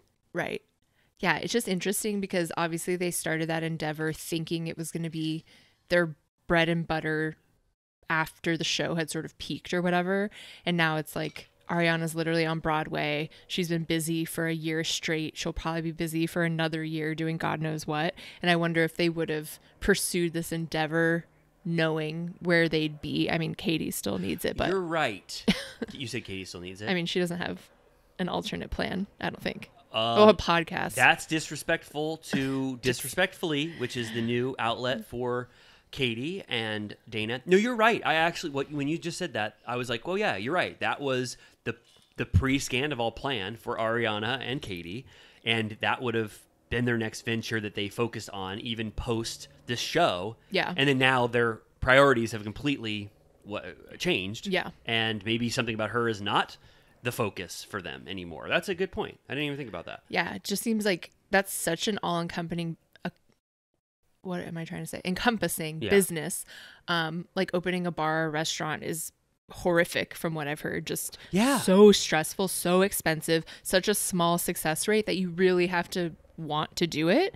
So I'm like if you have a billion other things going on, you barely are even home. You've been basically living out of a suitcase for a year. I don't know how you could even physically and mentally deal with opening a new restaurant. I didn't I didn't think about something about her not being at all their main priority anymore. Like I just thought of it as something that they're probably actively thinking about all the time, but you're right. Like Yeah.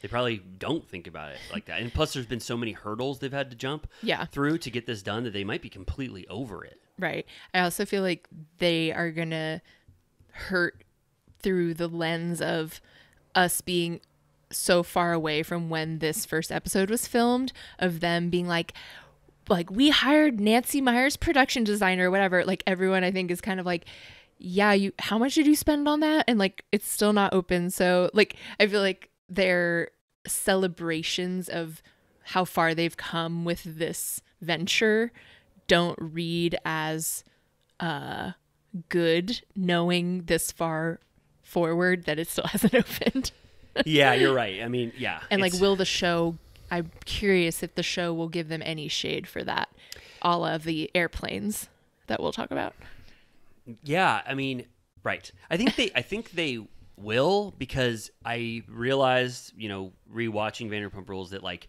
making fun of the cast members through edits is something that they consistently do. I wonder if they would think that the audience is so aligned with Katie and Ariana that they wouldn't give it shade and Right. give it all this like um I don't know.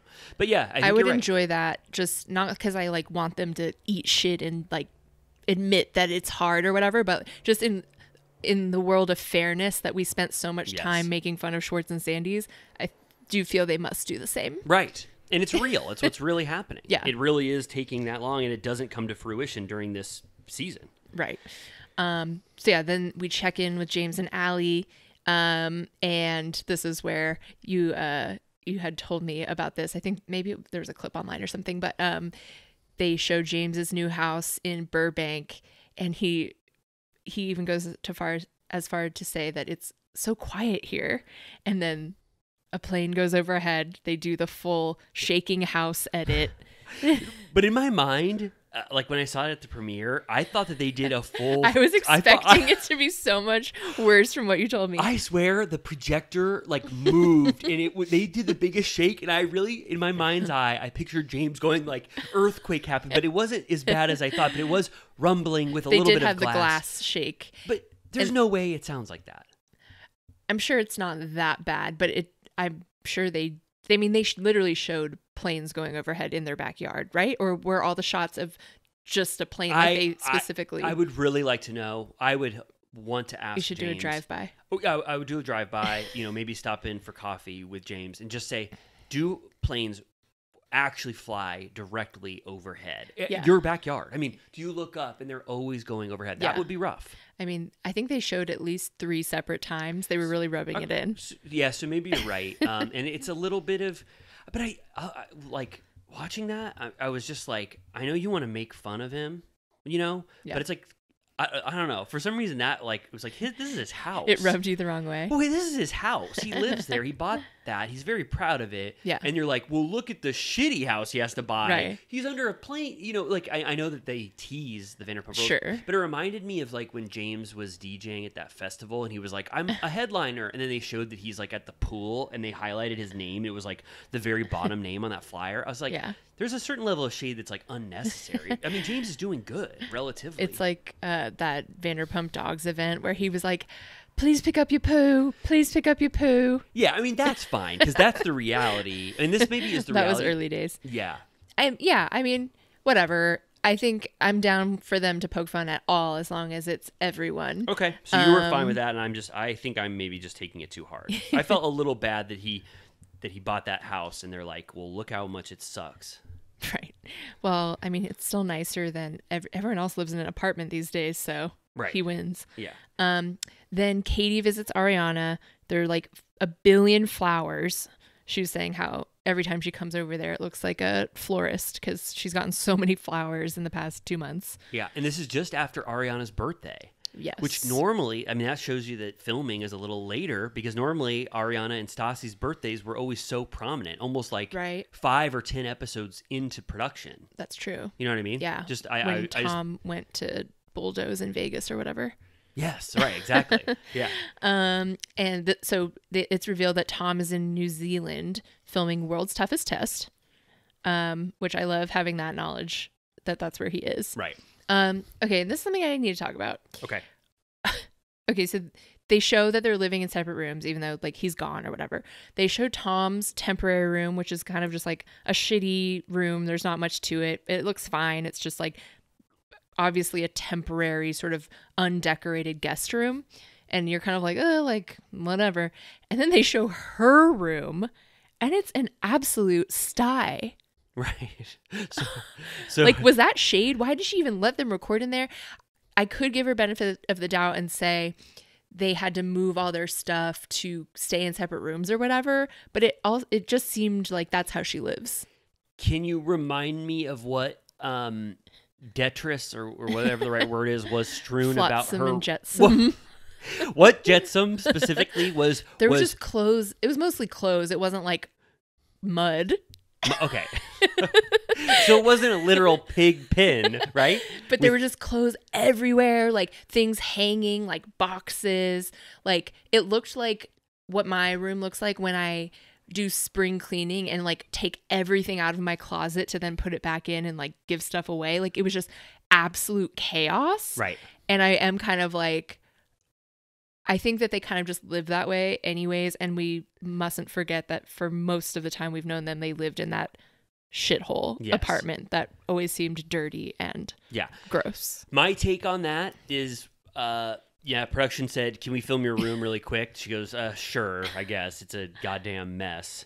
Um and I think that Ariana at this point is barely using her room as a place where she lives because of the um, wildness of her life in this era right now and all the shit that she's doing. So having a clean room wasn't a priority, and I don't think it probably looks like that all the time. I think she's just like this is like the height of her popularity, and she's probably just like jet setting and doing a bunch of different shit. And I think they just caught her room maybe on a bad day. But it's not representative. I mean, Maybe. unless I, am I just being too nice, and it just looks like shit all the time. You think? I think she might just be a messy girl.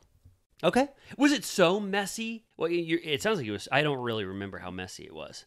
It was quite messy. All right. Okay. Maybe she's okay. Maybe she has a really messy room. um yeah i mean i kind of get that though like that makes sense where um if i were to read from the outside in it seems like and he tries to tell us that sandoval said he keeps the house in order he you know keeps the lights on and the Was that a toilet s- paper running and was- everything Right. Was that a subtle nod to be like Ariana doesn't clean her room? i think maybe she's the messy one in the relationship and Wow. he seems sort of like anal and like you know shaves his forehead and like Right. keeps shit clean because he's kind of like that you know okay. Wow. So Yeah. I believe it. So, I- think let us know. Am I giving her too much too much benefit of the doubt and saying you, they caught her at a messy stage of her you know life, or do you think Ariana is hashtag permanently messy? Right. Yeah, let us know. Um, oh my gosh, and then this is when we get that hilarious text because she says that they've been communicating through Tom's assistant Anne, Right. and she texts her, uh, "Tell him to turn the LED lights off, annoying the neighbors." And then Anne goes, "He says the lights fall under freedom of speech," Right. which I really think is like instantly iconic. That he said that. Yeah, Yeah. like I that's mean- like really funny. Yeah, yeah, it was. I mean, it's it's funny. I mean, it's it's also um, he's being a dickhead. totally. You know what I mean? But I just love. I want to say everything's freedom of speech now. Right. Like literally everything. Everything is freedom of speech. Yeah. yeah. I Like I'm gonna be like, they're like, you're getting a ticket. You parked on the wrong side of the street. And I'll be like, freedom of speech. I think they would have a hard time arguing that what you did didn't constitute free speech. So good. I mean, that was sort of a get out of jail free card, right? They're like, you have to pay for that sandwich. I'm like, freedom of speech. Yeah, I thought that I thought that was a great way to put it. I also thought it it played into this this villainous persona, like being petty with her as well. Yeah. Um, and also showed just what a nightmare that assistant has to go through being the mediator. Man, horrible. I, I hope think- she quit. I think he just said he. Did, I was just gonna say that. I think uh, Schwartz, Schwartz, just said that they- that they resigned. that just resigned. I wonder if it's even the same one this far later. She might have quit The before. stories they would tell if they Oh didn't God. want to piss off Ariana or and Tom. I And just- know. they Oh, like, uh, NDA. Like um, Olivia Wilde and Jason Sudeikis' nanny that told all. Yes, That was they- like the best time of our lives. You know what? I didn't really follow it. It was really fun. All I remember is that like Jason Sudeikis was screaming and crying, and he laid down in front of the car wheel so she wouldn't drive away from him. And and To Harry Styles with her salad dressing. That's the, like the main thing. You get it. that that's the that's, That's, the like biggest. the big thing that he like laid down in front of her tires of her car. Do you think Jason Sudeikis is sad? No, I think he's fucking like a 20 year old. Well, you can still be sad and fuck a twenty year old. Tom Sandoval was sad. Well, yeah, he probably is. yeah, I just think okay. Well, anyway, um, so what was the salad dressing part? Uh, she was making special salad dressing uh, for Harry Styles, and he was like, "I know what you're doing. I know where you're going." And she's like, "Get out of my way! I'm bringing Harry my dressing." Did he need? Did Harry Styles admit that he needed um, salad dressing so bad? He was like, "Make me dinner, mama." That's so sweet. They dated. Yeah. I fully forgot about the Harry Styles era. That was like six months where he was the biggest person. He was like how Taylor, well, Taylor Swift was always popular, but Gypsy Rose. He, he sort of had a Gypsy Rose moment for about four months. I know he's been a little under the radar these days. I don't know where he is. Yeah, I mean, I didn't really tap into it too much. I remember when he sort of, it looked like he might have let a little spittle out of his mouth when he passed by. Chris Pine. Oh, right. Yeah. That was, yeah, that was a I while followed there. every bit of that. When that was, so that? fun. When was that? Last, it was like can last year. Okay. Do you think he is. spit? We never talked about. it. We didn't have a podcast back then. Did he spit? Um, It was fun to watch it and think that he did, but I don't think he did. Okay. All right. Um, also, can we quickly say, what did you think about Tom saying that Ariana hasn't paid a single bill since the affair? Do you think that's true? No. Wait, wait. Tom said that? Yeah, No, no. I think it's. I think that's a hyperbolic statement. That but he said it again later that like part of his stress and why he was so freaking out and like losing his mind and that she was doing the brand deals and everything while not paying the bills. Like he brought it up multiple times. well, then I not the mortgage and not any of the utilities. That I- seems I, mean, I feel like at a certain if they are going to sell the house or do a buyout or whatever, I would imagine that you would just build in the unpaid mortgage payments on her end into that deal, right? Right. I think so. I think it's I think there's it's it's between truth and and being hyperbolic. Maybe there are some bills like the gas bill or I don't know. I, I It's like how Lindsay Hubbard hasn't paid the rent in their $13,000 apartment this whole time. I mean, what do you think? Cuz I already def- I can't like Well, that's the thing. I just I don't know. I was surprised to hear that. I hadn't thought about that. Um, but in her defense, I guess she hasn't really been there. right. And, and and wasn't even living there for like the last she hasn't been living there like the last 3 months either. Right. Plus now in New York. That's why I'm I, that's why I think that she's just using this house as like a place to film at at this point. Like she barely needs to be there. I mean, imagine Right. the resources and options she has. Right. That's why I think her room is messy. I think that's why she's not paying bills. Like I barely live here and you want to live here. Right. Well, that's why I'm just like, I understand why it would benefit him to buy her out because he's already in for it. I don't even know where he would scrounge up the money to pay her to buy her out. Like Right. I don't even understand how he could do that. But like I don't know. I I just really think for both of them they should get the fuck out of there. Like he should just go get a condo and move on. But yeah, he really loves his house. I digress. Yeah, um, I, I watched the after show, and they were talking about the house, and like they were talking about like all of the stuff that's going on or whatever. And Ariana said that she thinks that actively, this was like filmed three weeks ago. She thinks that Billie Lee is currently living at their house. Oh that, shit. that she was like, because Why does I, that not surprise I think me? because Sandoval was like complaining about like her having friends at the house, or thought that Mm-hmm. like she would create this zone where all of her friends would say like take over the house or whatever. And Ariana was her counter to that was like, I think actively right now Billie Lee is living at our house. I mean, he should collect some rent.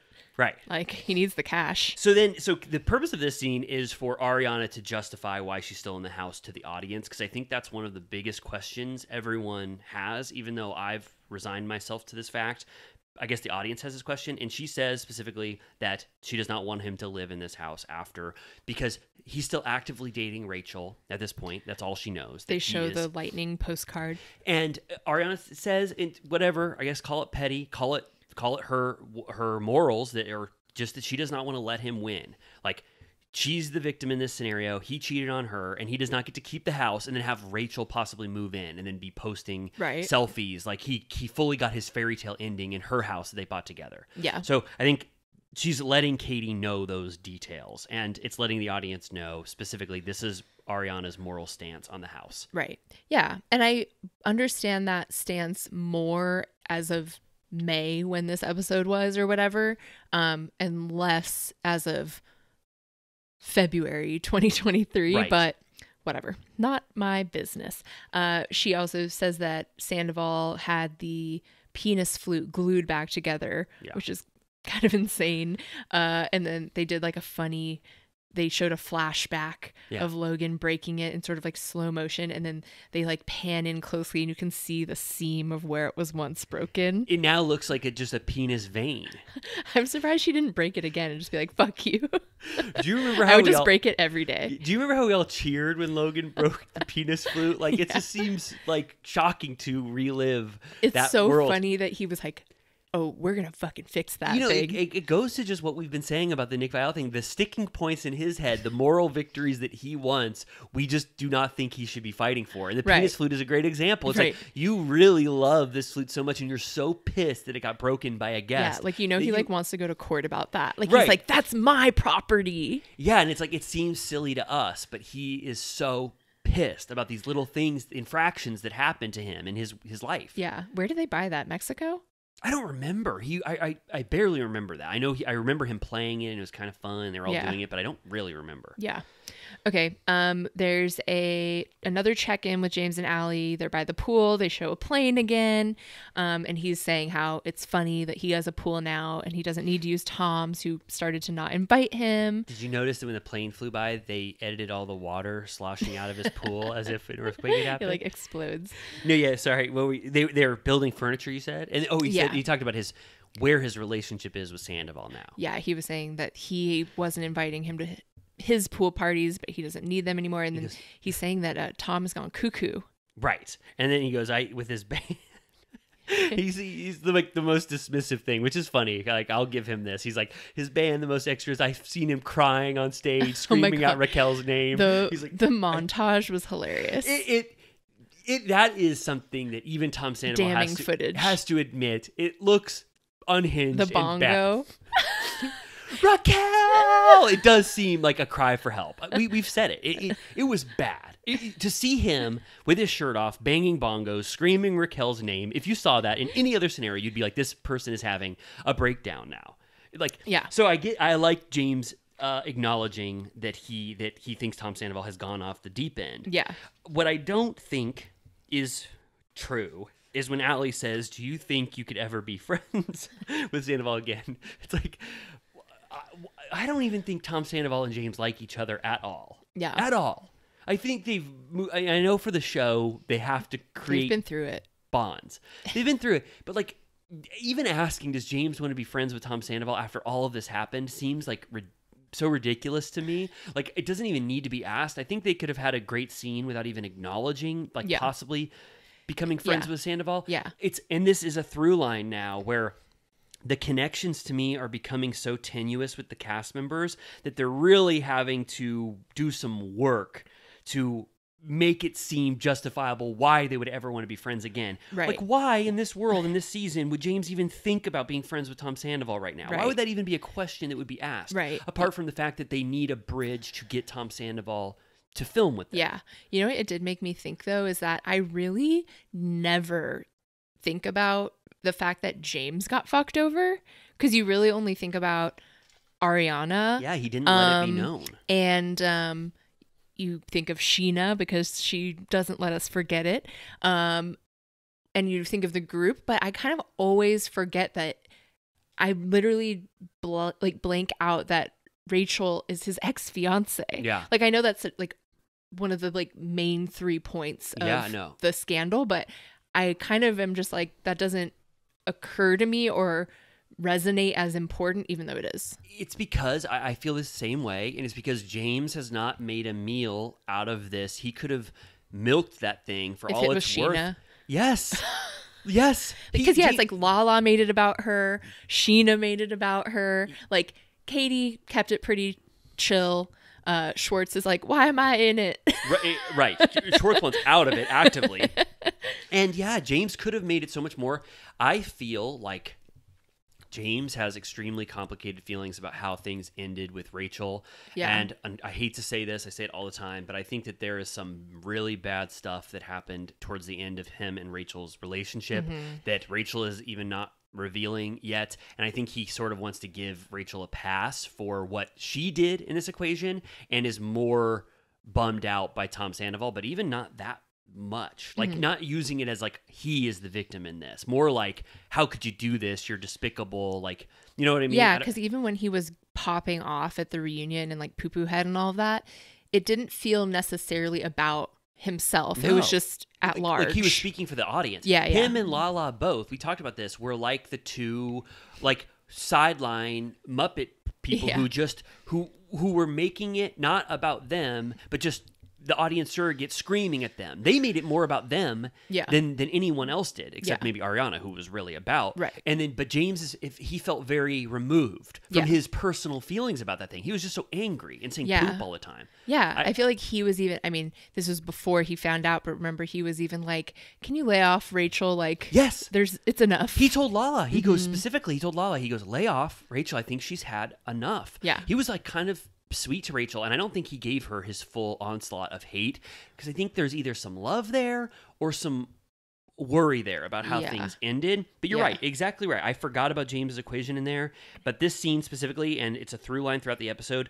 Them trying to like build this group back up. I'm noticing a lot of the like producers' fingerprints to like make this work. Yeah. And I hope that's not that doesn't continue throughout this entire season. yeah, I felt like at least for this first one, they were just pairing people off and sort of getting check-ins. You know. Yeah. Um. So then the next one is Scheana and Brock. We see our third cat, third tabby, um, and they're talking about they get it out of the way first, which um, Scheana says that she texted Yeah. Sandoval about his friend who passed away, who apparently has like low key been in the background this whole Yes. time. Yes. Um, a friend from childhood. They showed him in the Tom Tom sidecar. They said um, that he went to Coachella with them. That he was just like very much involved, and everyone knew him, which was so sad. And um, kind of like another sad underpinning a la Southern Charm, where you're like, oh God, like on top of everything else, there's that happening, which would normally probably be its own like massive, not a storyline, but like really sad moment. But it's kind of just brushed in with yeah. the And- drama. And for the most part, the audience at large does not even acknowledge that this horrible, horrible thing happened to Tom Sandoval during the worst time of his life. I know. I was like- wondering. I assume that Ariana didn't say anything to him because they weren't speaking at that time. But that's like such a like. I always is- think about that with like my mind goes to places like that. If like you have an enemy Yeah. that you would like never talk to again, it's like if there someone in their life died, Yeah. would you reach out anyways? I you know what I mean? I thought about that too. I, I've been thinking about that recently. Just like I like specifically, I was just like when we, you know, well, maybe I won't get too personal, but I was like, I have something in my life that I know is coming, like that's like going to be horrible and grief stricken, and I'm Mm-hmm. like, would that be something that like would like you know yeah just like what you're talking about like bring someone back just to give me like an acknowledgement i'm like probably not I know, you it's kind like, of a weird thing. I just think it's like if you're written off forever, you know, even if you love them at one time, like I don't think you need to reintroduce yourself necessarily.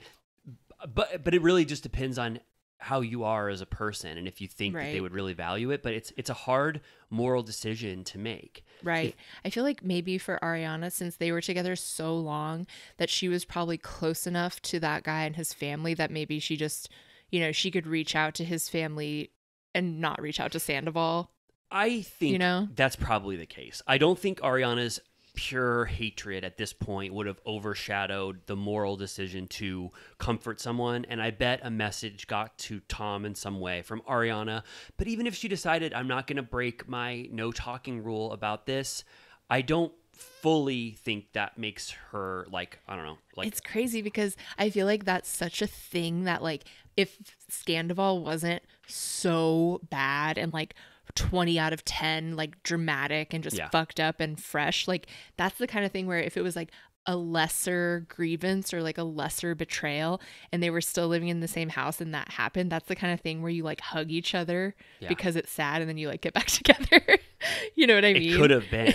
Yeah, it totally could have been. Um, I don't. Yeah, I don't know. That's a good question. And like, what is that thing that could happen in someone's life that would like bring back your haters to like even you know offer condolences through Right. a, a tough time? I I, don't know if. Ariana did that, but everyone dropped their. It sounds like Yeah. most of the cast members dropped their hatred at this point, or os- what's that ostracization? Like Mm-hmm. they they stopped not talking to him to to um you know to reach out at a time when he would be really really hurt, and that's when we learned. I just wanted to say one thing before we get to the scene. I wanted to do a shout out to uh, Scheana's segue in this scene, which is one of the best segues I've ever seen in my life, and I didn't realize how much of a pro Scheana is. But she goes, you know, she's sitting on a couch. Which is like Yeah. what somebody would do anytime. She goes, I can't not sit on this couch and think about the last time I had a crazy conversation on this couch with Sandoval. It's like you guys weren't talking about Sandoval. You know camera is picking up, so you have to justify away why you immediately are talking about Sandoval and this loss. So you say, "Hey, I'm on the couch where I had a conversation with Sandoval." she in the- bent over backwards then on watch but it's a good segue. It's a good segue. Well, Sure. It was slightly yeah.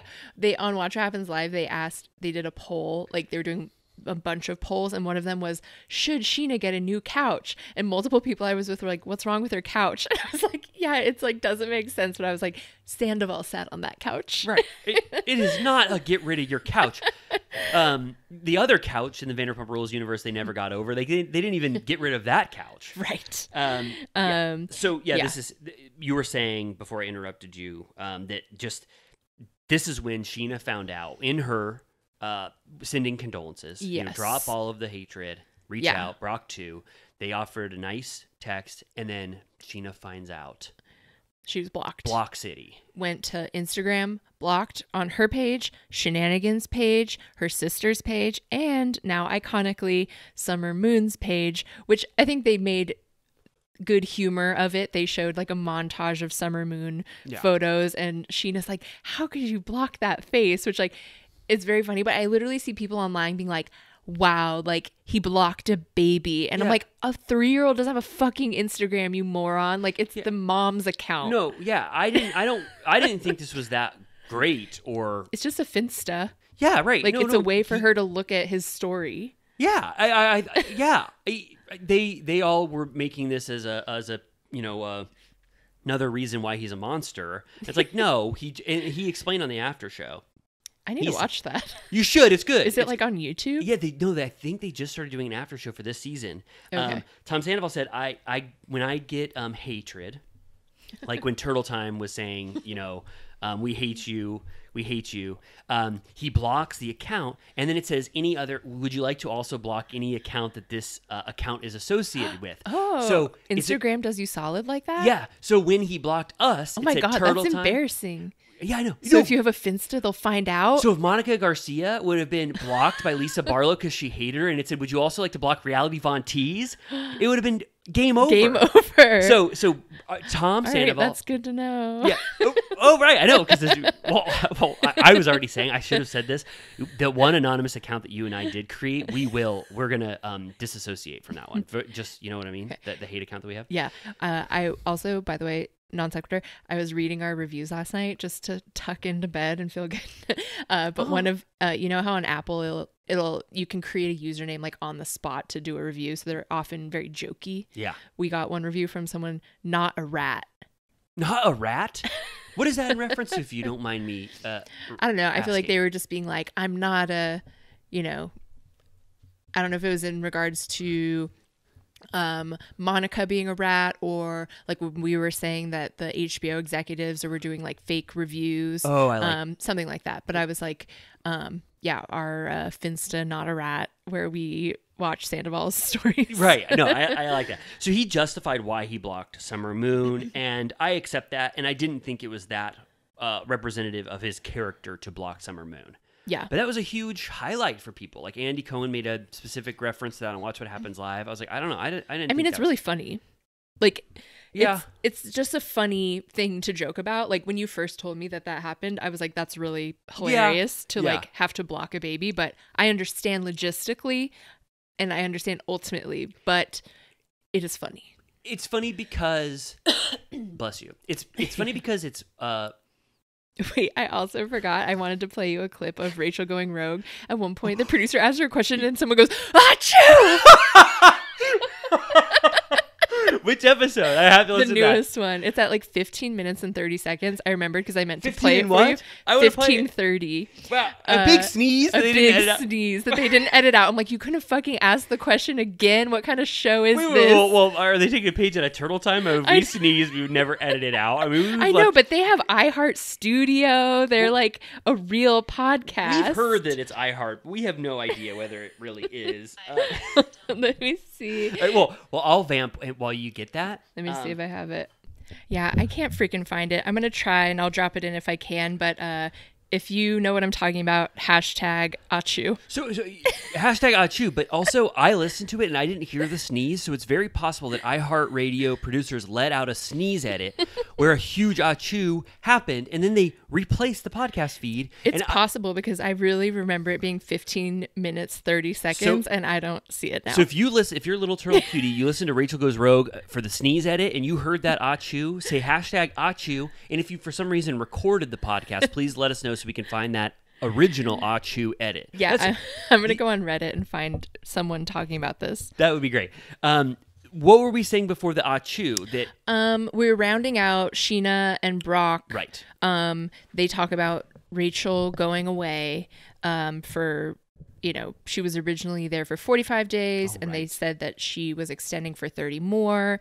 Um, also, Rachel talked in her podcast about how um, remember that whole rumor that she was at Miraval and that Yeah. she was actually at a spa, but not a treatment facility or whatever. And she was like, Bravo did nothing to dissuade the public from that rumor. And I'm like, that's not their job. What are you talking about?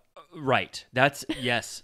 I'm glad you brought it up. It's another example of like, like, why would they ever? They don't work for you. why would they ever dispel the narrative of of you being at Miraval at all? Like what? Yeah, you're right. Like it's like or you know or not Yeah. being. At, it's like yeah, it's She's been their. Bethenny pilled. She was like, Andy Cohen even brought it up on his show. And, you know, because he was basically just feeding off of the news frenzy and was like, people keep saying that uh, Rachel's at a spa or something, like whatever. I'm like, I'm like, you didn't work for like ABC News. Right. Like, No. you know, yeah, I, I think that was a little too much to put on Bravo's shoulders. yeah. What, what? So the point of this scene was just to check in with Sandoval and Rachel, basically, right? Yeah, I mean, totally. um, then we go to Lala, who lives in an apartment building. Her mom has moved in with her, and her brother moved in basically next door. Easton. Yes. Um, and she was saying how um, she's not getting laid because she's essentially with her family 24 7. Um, Rand won't give her full custody because he doesn't want Ocean to be on the show, but he basically gave her every other control, which is all she cares about. Um, she broke the fourth wall. She goes, "I don't give a fuck Yeah. about Ocean being on Vanderpump Rules." yeah. Um, why is why does every um like person that's like been like in the Bravo universe that's not on anymore, like immediately retract the kids being on the show. Like, I mean, it's one form of control because it's like that's one legal thing that they can easily be like, uh, uh, uh. but she's like already been on it, Right. right? Well, it's And just he petty. was on it. Yeah, it's petty. I, I but it's just like I don't. Yeah, it, it just it does suck for the parent who's on a reality show who can't show their child. Right. Although Um, I feel like she probably leans towards the direction of actually it being better for her not to be on the show. You know what I mean? Like, I feel like Lala is kind of like, I don't know. I, I can know, see was- her being like, yeah, I don't need my baby on the show. I don't know. Wouldn't she want to show that facet of her, uh, you know, uh, personality? Like we've talked about before, she kind of keeps an arm's length. she really does. Um, yeah, so she gets final say on education and health. So we'll see what choices she makes there. Um, but yeah, she really this is her introduction of saying that uh, she's crying all the time. And I don't even remember her being this upset last season. It feels like she's been like freshly burned post Scandoval being like re-triggered by her experience. I assume you're gonna say she's laying it on thick. I only because what she did with Rachel was uh, rung so false to me uh, and made me skeptical of everything Lala is doing. And I've been skeptical of Lala in the past, Yeah. uh, in terms of what she brings to the show and Yeah. and how authentic it is. I really thought when she's in her confessional, she goes, Last year I was really focused on custody issues with Ocean, but this year I'm focused on the heartbreak from my relationship with Randall.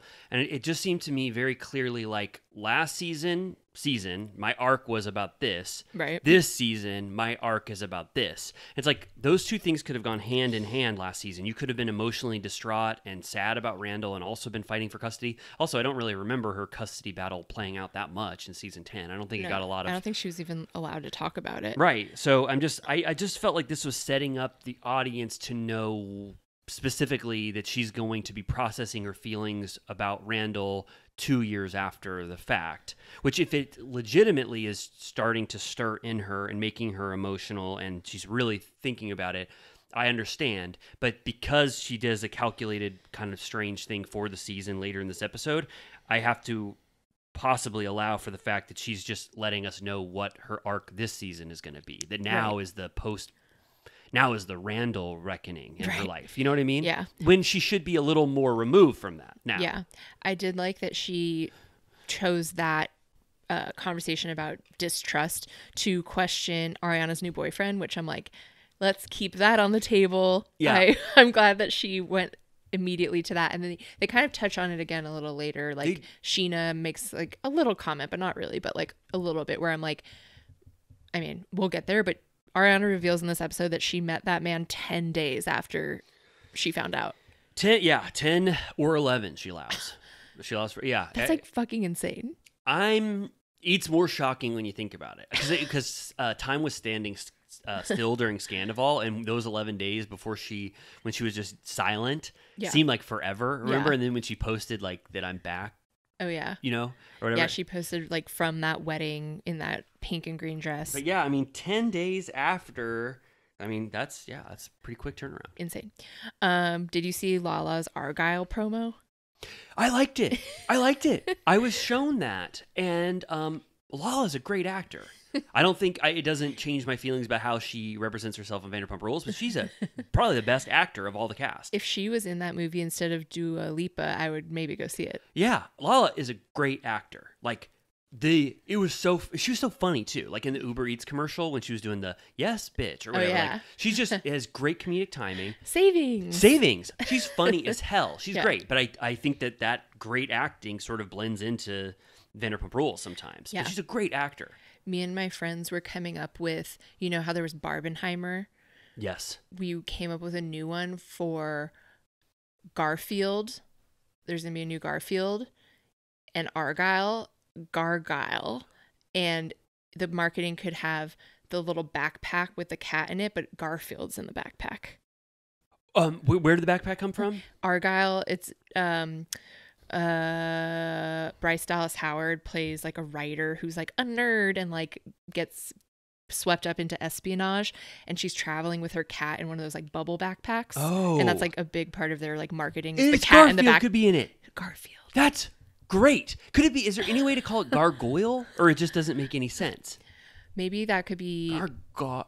Gargoyle. Because Gargoyle is sitting right there and I know. so close. I feel like that's part of what makes it that it's work because you're like it, Gargoyle.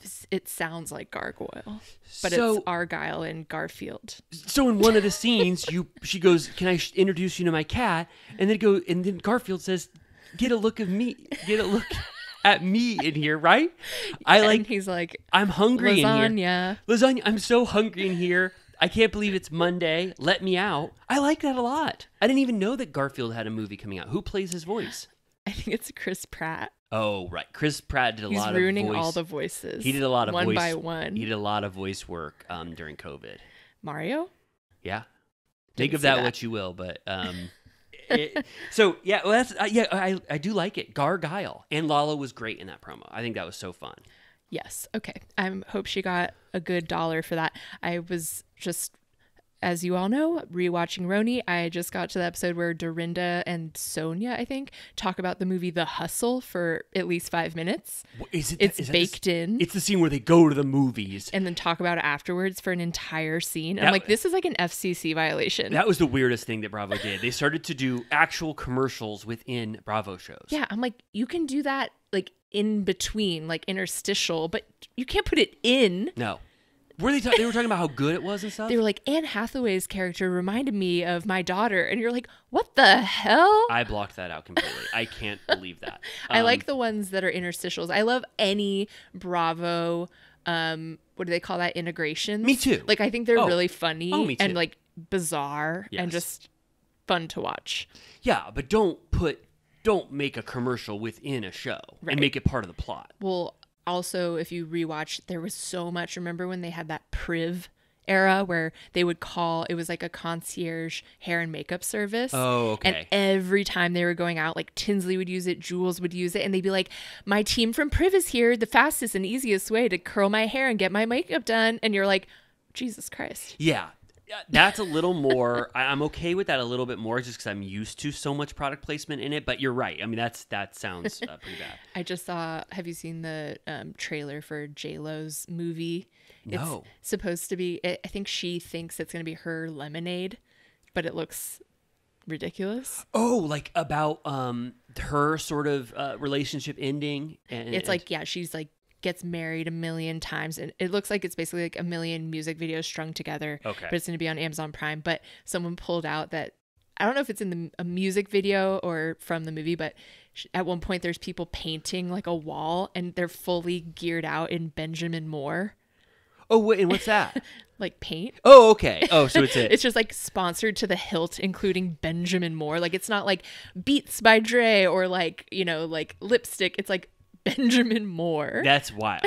um, yeah, because it's not really a brand that you associate with paint for it's the most part. sexy. Yeah. No, Was- you do associate. You exactly associate it with paint.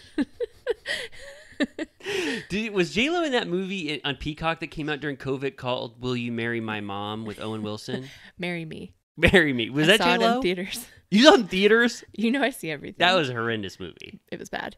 Owen Wilson's the most like mind fuck casting of all time. It made no sense. People thought that was bad casting, right? yeah, But he's so good in other stuff. sure. So, oh, you don't think so? No, I do. Oh, oh yeah, but he was just miscast there. He's like MIA. I he's having a rough time. Yeah, He those, needs those brothers. Wes Anderson needs to reclaim him, and something is going on. Does he Luke. still write those movies with him or I don't think so. I don't. I think Wes Anderson only writes with Roman, Roman, Coppola now. yeah. But I really feel like that's just like Roman says. Wouldn't it be funny if there was a, you know, I don't Did know. he co-write Royal Tenenbaums? I, I think. I think. Definitely Bottle Rocket. Yeah, Wes. Uh, or sorry, Owen was Bottle Rocket for sure. Maybe Royal Tenenbaums. Then he got Noah Baumbach for Life Aquatic, Okay. and then he switched over to being a full Roman Coppola Okay. guy. What's your just favorite? Life Aquatic. It is. Oh yeah. I need to revisit. Yeah, it's it, that's my favorite. It's the the last. Well, I I love I've on rewatch. I love Grand Budapest Hotel more Me than too. I, I ever watched it on a plane Yeah. like six months ago, and I loved it. I it's really funny. Ray Fiennes, that's how you say his name, right? Yeah. Ray Fiennes. That's one of the best performances I've ever seen, and one of the best characters ever created. I love him in that movie. It's like the he's the it, like a perfect Wes Anderson uh, character Yeah. in that movie, and he's so good in it. Yeah. I think I'm like forever Royal Tenenbaums pilled. I, I love it too. Um, I think my Life Aquatic fandom is because it's a little more underrated. Yeah. And I do think it's the level of humor is a little like darker and it's less whimsical. And I love Bill Murray, even though he's a Yeah. horrible, horrible person. I love him and Owen Wilson as his son. Like everything about it, I, I love. Yeah. But maybe I would. No, when I watched Grand Budapest uh recently, I was like I had sort of like not revisited because I thought maybe it was like too much because today in 2023 I'm a little bit oversaturated on the Yeah. aesthetic and everything. But revisiting it, I was like, oh, it's like it's very funny. Oh yeah, yeah. It's it it's it's great. And I also thought it was a lesser work when I watched it because I was so used to, um, you know, yeah, Royal Tenenbaums and Rushmore and stuff. I thought it wasn't as good, but now rewatching, it's like it's. I think it's up amo- like top five or top three, top four. Yeah. Wes Anderson's. I, I love it, and I think that him and Ray Fiennes have a, a that was like the best find ever to make to cast him as that. Yeah. I forget what his name is. Gustav. Yeah. I hope that he like I think he needs like a shakeup. I think so too. I think he needs to write with someone else Mm-hmm. because I think he is running on fumes. I mean, I saw Asteroid City and I thought that was definitely a minor work, uh, Mm-hmm. in my opinion. Like it was fine, but it was just it was like derivative of hi- himself. Yeah. Okay. so. All right, so they go to so this scene next is called it, they go to Wood and Water, um, right? Schwartz and James. Yes. And to me, this is when a little bit of the artificiality of this universe really comes into play for me. I just don't think there's any world, and I know it's a show, so it's like I'm just I'm just judging this. I know it's a show, and they're they playing to, with their pawns. they're playing with their pawns. I know it. I get it. But it's still, as a viewer who th- thinks a lot of this is real and it's about these real friendships, Schwartz and James having this reunion to me just it, it didn't. I, I don't think of James and Schwartz as very close and never having a, a one-on-one. And I felt a little awkwardness with them there, like they don't really know each other that well. Yeah. I also think I don't think Schwartz really loves James that much Yeah. like if Schwartz was choosing his friends, James wouldn't be in the top ten. Yeah. So it just felt very forced, and I felt like it. This felt awkward to me, in my Yeah. opinion. I, and I, I'm I'm judging it harshly. Yeah. Um, yeah, Schwartz said he was wearing his Schwartz and Sandy's hat for the first time since Scandoval because he's been too scared. And I almost wore my Schwartz and Sandy hat because I have the same exact one in honor of that moment. But I was afraid that then when we put these clips on the internet, that people would think I was some sort of right wing troll. For sure, they would. I mean, absolutely, they So I would. wore my Sir hat instead. good. Yeah, that's fun. There's nothing bad about Sir. Um, but yeah, James is like, uh, he reveals that he's sober currently, Cali sober, and he makes it very clear that he smokes weed in excess. So I'm like, okay, so still addictive behavior, cool. Yeah. Like, I didn't know. I kind of forgot full blown. Like he's like uh, smoking it up, like all day, smoke all day. Yeah, I'm I- like, you don't have to keep saying that you smoke weed at all times. Yeah, I also don't think that people sh- need to define anymore Cali sober. Like, if you just say you're sober, I think it doesn't everybody think it means like weed could possibly be included in there. I guess. Yeah. I, I just Um, that qualification. I don't. I don't feel like we need it anymore. But maybe I'm yeah. wrong. It's also funny that weed, I mean, I guess there are all kinds of weed, but weed does not chill him out. I think he's smoking the the uppers. That Oh, like- icky. Oh, you're talking about those strands that weed have, where it's like There's one like is crack, indica. like purple. You think he's smoking crank. one that makes it? yeah okay yeah I forgot about his weed usage, but it seemed like yeah he likes to get high. Yeah, he uh Schwartz gives him a plant and a candle, and James said that it smells like um citrus pussy. Yeah, I hate to say. I hate to say it too, and I didn't like watching it. And uh, this that that was like uh, it was sort of awkward humor where I was feel like they are like um, reintroducing themselves to each other, and it Yeah. just felt a little out of character, both of them. But yeah, yeah, you said it. Uh, he said it smelled like that. Yeah, and then we basically just get a little review where Schwartz says how hard this has been at Schwartz and Sandy's, how um, their reservations are down, staff has quit, that people are coming in and acting crazy. He keeps saying in interviews and stuff, he said multiple times that like the bathroom was vandalized, and I'm pretty sure I know what he's talking about. And it was like someone wrote Team Ariana in the on the Yeah. mirror in lipstick. Yeah, and I'm mean, like, that cannot be considered vandalism. yeah. I mean, I think we went there when that happened, and it's like the one time. It's but like not a big deal. yeah, I mean, he was he was really in the thick of it, you know, and Yeah, this and- is when he said he says that staff quit and people were harassing the staff, and he, you know, Right. he did say that it, it became a toxic. I'm sure it was bad for like two weeks. Yeah, Like remember their Yelp tanked, and like I mean, whatever. I went not to like call myself out, but I went two or three weeks after, and it was, was a, your journalistic duty. it was a journalistic duty, but also yeah, it was not bad. People were not being horrible or screaming or no. doing anything. I feel like maybe just- that like first week, but I think I think it was more the stress of overall what was going to happen. It would probably made it seem more intense. It was just yeah, it was just such bad timing that they opened this bar and then immediately one of the co-owners does this horrific thing, and then you Right. have a place where people can excise their rage, or, Right. Um, exercise their rage. he's saying uh again that uh his last year was horrible. Like obviously his divorce his brother's health um and that scandoval was a radioactive cherry on a shit sunday. Yeah, um he also says that um sandoval like rallied so hard to have the bar called schwartz and sandy's. And I feel like Schwartz didn't fight that hard against it. It was Katie that hated it. But also, he was implying that it shouldn't have had their names at all. But I'm trying to remember what the other options were because it wasn't it still name based. uh, I forget. I, I forget. Katie had uh, other. I do think he hated the name, and remember he was like he let Katie kind of speak for him. Yeah. and he was like Schwartz doesn't want to admit to you how much he hates it.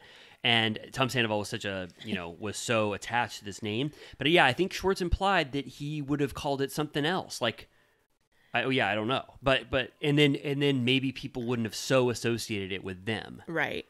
Yeah. I guess you are like, if you don't know the context, you say, who's Schwartz and who's Sandy? Yeah, I mean, I think it's a good name. I never thought it was a bad name. Do you think it's a bad name? What was Katie's idea? Bar and Grill. It was like something dumb. I don't. To, oh, it was it was to the. Oh, it was like Tom to the. It, it had a play on words with Tom. Um, Yeah. we'll remember it. Some To- Once upon a Tom. Once upon a Tom. Yeah, I, I think Schwartz and Sandy's is still better. Yeah. More Did- fun. Did she? Did did she not? Did Katie not like it because it says Sandy's? I don't know.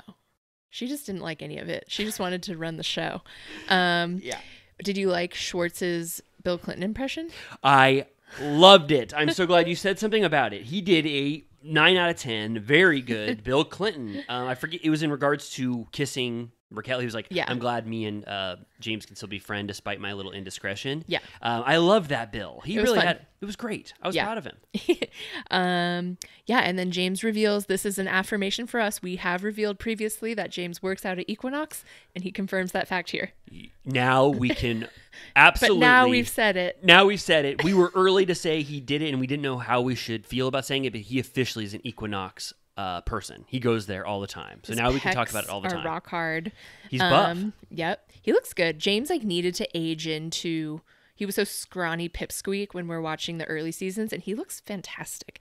Did you notice his eyes? When every time he wore blue, his eyes looked like insane. Yeah, he looks wonderful now. He's buff. His eyes are big and bright. And yeah, I'm proud of him. That Jude Law chin. Yep. Okay.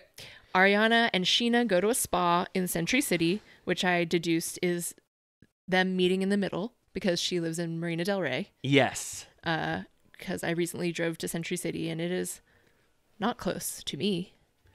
How f- how long did it take you? Uh, well, we did something else first, but it's far, and I have a doctor's appointment there in a couple weeks. So I have to go again, and I anticipate it's going to take forty minutes at least. Oh, that is so rough. So yeah, you're right. I didn't understand why they were going to Century City, but now it makes perfect sense. It's a meet in the middle type. I think so. And they're going to the, the a place called the Fairmont Spa. Fairmont hotels are very nice. They are? Yes. Oh, I had no idea. Yes. This this spa looks cool. I liked it. The Langham is a Fairmont, which is near you, so you should go there. oh, I do, I want to go to the Langham. It's very nice. So what what are they? So in addition to having spa time and having you know talking to each other, what is the heart of this scene? I think we're really just checking back in, getting more from this is where we find out that Ariana where she met Dan. Um, they show the photos of them, like everything they've done so far. She reveals that he's a personal trainer and a bartender, which I didn't know the bartender part, Me neither. which is interesting. Um, she says that they're doing something long distance, and that uh, Scheana reveals that him and Brock are workout buddies.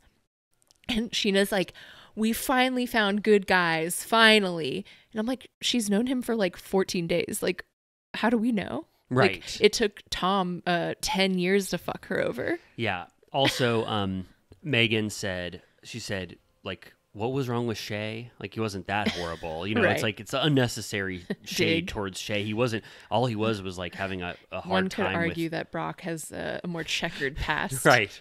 Yeah. Um, Scheana reveals that she's currently not drinking for three weeks because she's on Zoloft because she kind of says it's because of Scandoval that her anxiety she got diagnosed with OCD she already had anxiety and it, they kind of coalesced during this super stressful time and she's been struggling and has become very paranoid about Brock and what he's up to and if he would fuck Lala, which is interesting because that was that rumor that was going around. So Right. that must have just like driven her insane hearing that all the time. Yeah, and also I think the I think she did. I don't know if she says it here specifically, but um, you know, the the restraining order and the, Sure. and being labeled, uh, you know, whatever that comes with, like legally, was probably so scary for her. The fact that she could lose, like I don't know, like what happens to your like parental um Right. uh, what's that called? You're like, yeah, I think she was really worried about the fact that this could have like really affected her family, and I don't think she specifically wants to bring it up anymore. The res- the restraining order at Right. this point, but I think that I mean, going to the court and dealing with all that shit must have been pretty like anxiety inducing Yeah. for sure. Which on Rachel's side on her podcast was saying that Scheana was very performative about it because she basically I don't I don't even know what to think between the two of these women because first of all, I think that am I allowed to say allegedly maybe Scheana did punch her in the face? Allegedly? I think you get allegedly, Allegedly? allegedly, And uh, I think that all of the girls on the show are going to take it to the grave that they all know that to be true. Allegedly? allegedly allegedly allegedly i don't i think because it's horrible legally i don't want to say that you know specifically allegedly but i think that that is that is the assumption that everyone is operating under and rachel has decided that she shouldn't have done that ultimately. She did shouldn't have taken it to that level, but she resents how Scheana used the court system to make it seem like Rachel was using the court system on uh, what's that like fraudulent cases or, or Right. like wasting the court's time on frivolous cases Right. that had no so it was more like Scheana made it a victory for herself when in Right. reality Rachel I think regrets that she even filed the restraining order. Right. It seems like I don't know. I, I, I truly don't know who to believe because I'm like I think it's probably somewhere in the middle where Rachel is implying that Scheana should have known that it was basically moot and dropped Yes. and that she didn't need to show up to court where we were that day. Oh yeah. and do this whole grandstanding thing. But at the same time, I totally understand why, if there is any lawsuit, you want to do due diligence so that you're protected on your side and can't get hit with some unexpected thing of like, well, you didn't show up. So it's like, I'd probably rather show up than not show up. I know. Regardless, especially because Rachel's communication is very confusing. So I understand why Scheana would just take it super seriously. Yeah, and she did waste the court's time and our time when she didn't show up. Right. You know what I mean? Right. Yeah, I don't. It's weird. Also, speaking of, I'm just gonna say this really quickly. The uh, wasting court's time. I just watched a uh, TikTok of you know the tattoo artist Kat Von D. Yeah. She apparently has been getting sued for years because a photographer who took a photo of Miles Davis is suing her for tattooing that image on someone. No way. And it's like this whole like legality of like if you need to license a tattoo. Oh, there- And I'm like, since fucking when? Well, yeah. I mean, it's. I know it's ridiculous. Like you should be able to have Bart Simpson And drawn all people over do. you. Yeah, I know. Um, yeah, it's horrible. I, I think. Well, you know, and they also have to clear them for production. You can't Right. have unlicensed tattoos appearing. You can't have Bart Simpson or or even a tattoo artist like original creation. You have to like license it as That's art. so crazy. I know. I think it's it's. I don't know. Yeah, you're right. I mean, But I think she won, but um it took years. And I'm like, imagine how many cases are just like total BS. Like what percentage do you think? Yeah. And it makes me like worried about my Miles Davis tattoo. I know. I have one on my entire ass.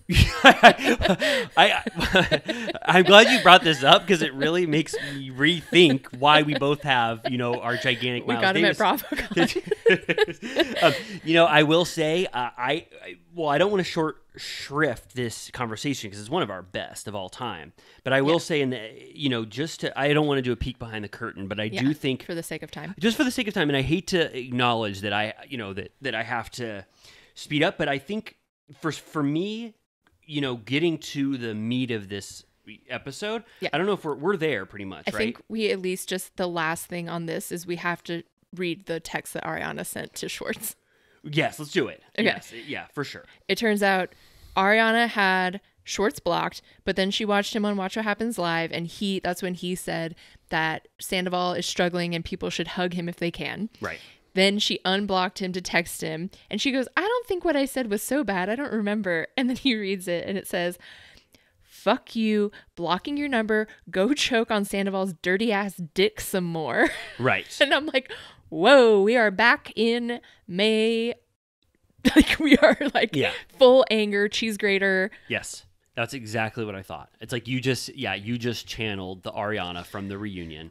which I'm like, people are memeing the hell out of it. People are being like, she is so me, like, lol. Like, I'm like, yeah, it's funny, whatever. But I'm also like, if that were me, I would feel like sad that I was that like hurt and angry that I said something like me, that. me too. No, yeah. I mean, yeah, she's just like us, like what we all say to people all the time, which you know no one does. It's just, yeah, it's just like people, yeah, love that uh, she was horrible to Schwartz about what he said. Yeah. Um, yeah, I, I thought I, I thought more Ariana would look back on that and be like, like you said, like, oh man, I like that's one of those things. Like maybe I should have slept on it before I, Right. you know, That's what Dorinda says. Say it, forget it, write it, regret it. I love that. That's a great motto to live by. Um, okay, so this is the final location, Tom Tom. We get basically everybody's there. We get a peek of Ken. Lisa comes in. Um, Now, just so you know, uh, Megan and I and our friends yes. were there that night for that event. And I had no idea when we went there that that was the first episode. I I didn't know how long we were into filming. The fact that that was the first episode, I had no clue at all. But when Schwartz walks in, you can see Megan and I. I'm hiding behind a bush, Oh. and you can just see my legs. But Megan is very prominently seen. Okay, So I need for to watch it again. yeah, I mean, it's for one second. You know, Yeah. basically just background for one second. But um, we were there, and it was the most chaotic. I mean, you can see it. Like it was the most Bustling. bustling, like Turtle Time headquarters. Um, Yeah, I think. I remember I was like, we had gone uh recently or we had I I couldn't go Yeah. again. Yeah, no, no, no. Yeah, it makes sense. It was it was when we had been to all of the Vanderpump Row restaurants fifty times. Yeah, so and that the Sandoval show I think pretty recently. Yeah, but I mean, just them going there to film at this time.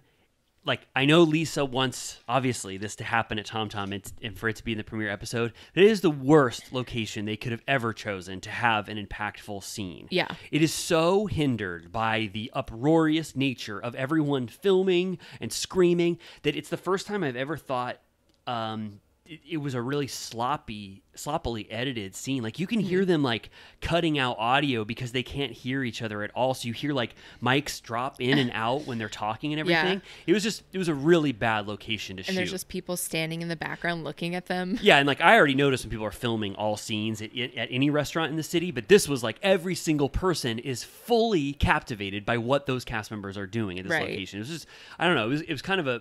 I know they have to be there for Lisa, but still, it's like it, this was the worst environment to film Yeah. Um yeah, so then they make a big thing out of uh Ariana returning to the scene of the crime. She's sitting in the same seat that she was that fateful night Yes. when we were there. Um she still she doesn't want to talk to Schwartz. Um did you what did you think about him saying in his confessional he was like I get it. She's reached this exalted status, Queen Ariana, patron patron saint of scorned women. Did you find that condescending or valid? Uh, No, I said neither. Thank you for asking an either or. I found it to be his way with words, which is sometimes very eloquent when he wants to be. And I think it sounds condescending when you say patron saints of scorned women, but I think that's a literary flourish that he added that is representative of how he talks sometimes, but it could very much be construed as condescending. And I get why it sounds bad. It, Yeah. it, it, really, it really did sound bad, but I don't think that's what Schwartz meant. I Yeah. think it was just he, i for him, it accurately described what's going on with Ariana. Sure. And I think imagining that he filmed that confessional later when she had been exalted even further, Yes. like when it was so out of control, Yeah. like I think it even makes more sense. Yeah. Um, they do a whole litany of Tom Tom flashbacks slash Tom and Ariana relationship flashbacks, which this was sad. Yeah, this was sad, and this was probably one of the highlights for the episode because I didn't, you know, I didn't really, none of those scenes that we've already talked about really popped for me except as table setting. But it was good to provide the context of what it means to Ariana to be at Tom Tom, in addition to it just being a filming location that they all have to go meet at. I did love seeing the context of their beautiful moments at the opening of Tom Tom, the, the scene where Ariana talks about her depression with Tom, Mm-hmm. and she goes, "Can we go home?" Like when you see their highlight reel, Yeah. it's it, it puts it into context again and When- how yeah. hurt Ariana is over this whole thing. And I, and I liked that because without it, I wouldn't have thought it was that big of a deal for Ariana to be back. That Yeah. was like the kind of editing flourish that I appreciated. Yeah, like he says, um, they show the clip when Tom Tom opened that he was like, "This has been the two happiest years of my life." Like uh, when we started dating, and then now with the bar opening or whatever. And I'm like, I don't think he's full of shit. Like he really loved her for sure, like a lot. Um, but they just and also like when they showed they mirrored uh Katie and Ariana walking up together the first Yeah. time and then this time and you really like watching it I know that Katie supported Schwartz but Ariana like to use her words was like so ride or die for Tom Yes. which I understand the rage when I think of it that way where it's like you piece of shit like know. I did everything you said like even though she was probably like eye rolly to him or whatever, or thought she was smarter than him or whatever, she still like went along with everything for him for Yeah. so long.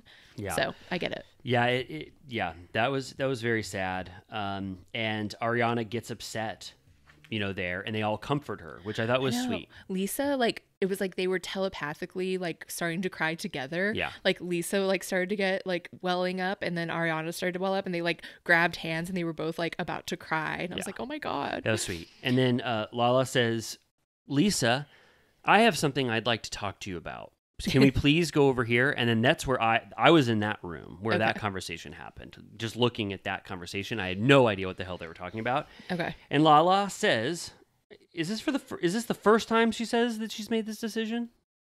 Or, or did she say it earlier in the episode, or is this a complete surprise? Uh I think that she's brought up I think I, I think she's start has brought it up before. Laid the breadcrumbs for this decision. yeah, that she's starting to relate to Rachel. She basically brings up the last five minutes of the reunion, which I forgot how shocking and fun Oh. that was when she goes, Fine, I'll tell you everything. Yeah, no, like that- the producer asked one last time and she caves. Oh, yeah. No, and it like was- changed the course of history. that was great. And Lala says that specifically when Rachel said, "If I lose Tom, if I if I tell the truth and I lose Tom, I will have no one because he is my my the last uh, person I have as support." And Lala says that that statement is what uh, made her have an emotional reckoning with how she behaved and want to reach out to Rachel um, to uh, talk to her and and if she want if she's open to talking to her. Now, Yeah. first I was like, why that statement? Mm-hmm. Uh, like there's a lot of things Rachel said. A lot of things that were emotional at that the last final 5 minutes where she's unburdening her soul or whatever. Specifically, I didn't really understand why Lala that isolated part made her reminded her of Randall. She wasn't isolated with Randall, right? I mean like she had her family, she had friends. I I, I don't I didn't know that if that was the right rationale to point to as as what really struck a chord with you out of everything. I thought that, that was a little bit reaching, but if it's Yeah. not, you let me know. Yeah. I mean, I guess kind of just like um like protecting him at all costs because of, you know, I feel like the relationship that you've uh, built together is built on lies. Yeah. And so you kind of just have to turn a blind eye to keep it up, keep up appearances. Yeah, Um, I, I, I guess so. I was a little like, okay, that's what you know. That's what got you. Like after like everything that you've been through with with They, Rachel. They showed a montage of every time they fought, which I forgot how many times. Yeah, There's like Bambi eyed bitch, and then like the Rottweiler. I was and- not your friend. Yeah, like there's like 10 examples. And Yeah. uh, Lisa's like, I'm surprised, Lala of all people. And she's like, well, maybe there's hope for the others then. Which Lisa, this whole, since day one, has wanted this shit to be over. She's like, can you guys just forgive them? I'm over it. Yeah, exactly. And I think that Lisa saying I'm very surprised of all people that Lala is the one to forgive her is sort of code for you're the cast member doing this, Right. Like you. You're the one who wanted to reach out to Rachel first, Right. Out of everyone, I just, I, I just think that Lala making this about her when it's she was already tangential to this original uh, Scandoval anyway, very Right. tenuous connection to it. Why she felt so aggrieved, she really had to justify why she felt aggrieved. And in this instance, she's saying why she feels like she should be the one to reach out. And I just think everyone on the cast wanted to have a, the first scene with Rachel where they bring her back to the fold. And Lala just thought this is a great excuse for me to to get Right. some spotlight on a thing. Do you think she like anticipated that Rachel was going to return to the show and that this was going to be her launching off point and then she had to like create it manually? Absolutely. that is Um, exactly what I think. I think that she expected Rachel to um, commit to filming, and she knew that Lala could Lala would be the one to be the bridge between them and have a lot of powerful scenes if Rachel actually returned. And now we know that she didn't. Yeah. Lala just has no storyline with Rachel, so she kind of just made this like um I mean it's not a betrayal, but she sort of like went out on a limb to be sympathetic to someone who is ultimately not going to film at all. And so there's no resolution, there's no storyline. It's kind of just a full flop. Right. Yeah. So she goes out to the back patio or whatever. And uh, at first, it seems like she's calling her, but it's revealed it's an Instagram voice memo message Yes. um, where she's just basically like, I would love to have a conversation with you. I hope you're doing well, whatever. Um, on Watch What Happens, she reveals that she never responded. Um, and she also, Lala also said that if she would have known that she was going to go do Bethenny's podcast and do all of this, like Rachel going rogue, that she never would have done this, is what she said. Right, and, and to me, um, that is Lala backpedaling Mm-hmm. from this uh, this inauthentic decision she made to um, pretend like she wanted to be the sympathetic ear to Right. Rachel. Yeah. And now, I even in the after show, which I'm sorry to keep bringing up, no, please, because I didn't watch it. Lala says um, she gets uh, indignant and mad and goes, and I also wanted to confront Rachel about how the fuck she could call me a mistress when she Oh. was harboring that knowledge. I'm like, Lala, that was not your intention at all. You were like crying and upset and wanted to be there for Rachel if she needed you. She's trying to retroactively, or what's that? that What's that called? She's trying to retroactively add nuance to this very calculated decision because it flopped and she has to justify her behavior and she's she just even said in this episode, like all the things that people called me a mistress of Yeah. homewrecker, whatever. She said it's true. she was ready to give Rachel a sympathetic edit and be there for her because she thought it would be a good storyline. And then when Rachel did all this Bethenny shit, she's like, God damn, I it reach out to the one that like is not going to be on the show. Like, what a flop. And then she has to now justify and pretend like she was doing it because she also had other stuff to say to Rachel, like, you know, like to get to the bottom of. So Yeah, no, it's definitely like very producer hat. Yes. Um, but I do uh understand why someone that was leading the front of that reunion series uh would perhaps feel remorse, but it seems like she doesn't really. But I think I would feel very dirty if I watched back how gnarly the reunion was. Yeah, no, I yeah, I, I agree. And also like Scheana couldn't do this, Ariana couldn't do this, Katie would never do this. Yeah. So it is it does make sense that Lala was the only one, but it's just so out of character and I don't trust her motivation. And I think she's already tried to nullify why she did this to I so I know it's inauthentic. Yeah. And um yeah, so that you know, that's my thoughts on it. It's only because I just I do think Lala kind of um really needs a storyline. Yeah, like for sure. more than any other cast member. She really needs to justify her presence on the show. Yeah. Did you see Ariana's Olympics commercial? Yeah. Get that She cash? goes, I, I'm I'm too busy to be on a Royals reality show because I'm going to be at the Olympics. yeah, she's like, I have plans, which um, I'm curious. A lot of people think the Olympics are canceled Why? ethically. oh, okay. I don't want to get into it. um, yeah, she's going to carry the torch. she should. That would be so cool. She should run from Greece to Paris. That would be so fun. Okay, and then I just want to shout out how cute Gordo and Butters are. I screamed. So cute. So fucking cute. Um yeah, they have I feel like Tom and Katie, they just they talk about uh Ariana, how he's blocked and um Well, Sandoval. Yeah, and, and Schwartz wants to um, his storyline, but I'm not calling it a storyline because I think it's legitimate. This is a real thing. He wants to talk to Ariana again and try to have a conversation with her because she very much still associates him with Sandoval, which she should at this point. Yeah. But he wants to, so he said, "Katie, if you could ever put in a good word for me, I'd love to talk to Ariana again." Yeah. So they're sort of he's creating a strategy so that maybe him and Ariana could sit down together, which Yeah. I'm sure will happen because I don't think Ariana can carry the rage that she has towards Sandoval and put that on Schwartz as well. Forever. I imagine scenes with Schwartz. I'm sure yeah, later. Yeah, Um, but I- I, am I have to keep reminding myself how early this is. Also, when you saw that tank on the ground where you're like, oh no, did he get another lizard? Yeah. But And then it- it turned out it was bugs? It's bugs. Who gets bugs? It, they're bugs. Pet. Can I, can I talk about the after show again? Yes. He released those bugs into the wild Why? because he didn't want to take care of them. Oh, or, or he. what he- made him get bugs? I have no clue, but he's. I swear he said that he released those bugs into the wild of Va- of Valley Village, or where does he live? Yeah. Um. Yeah.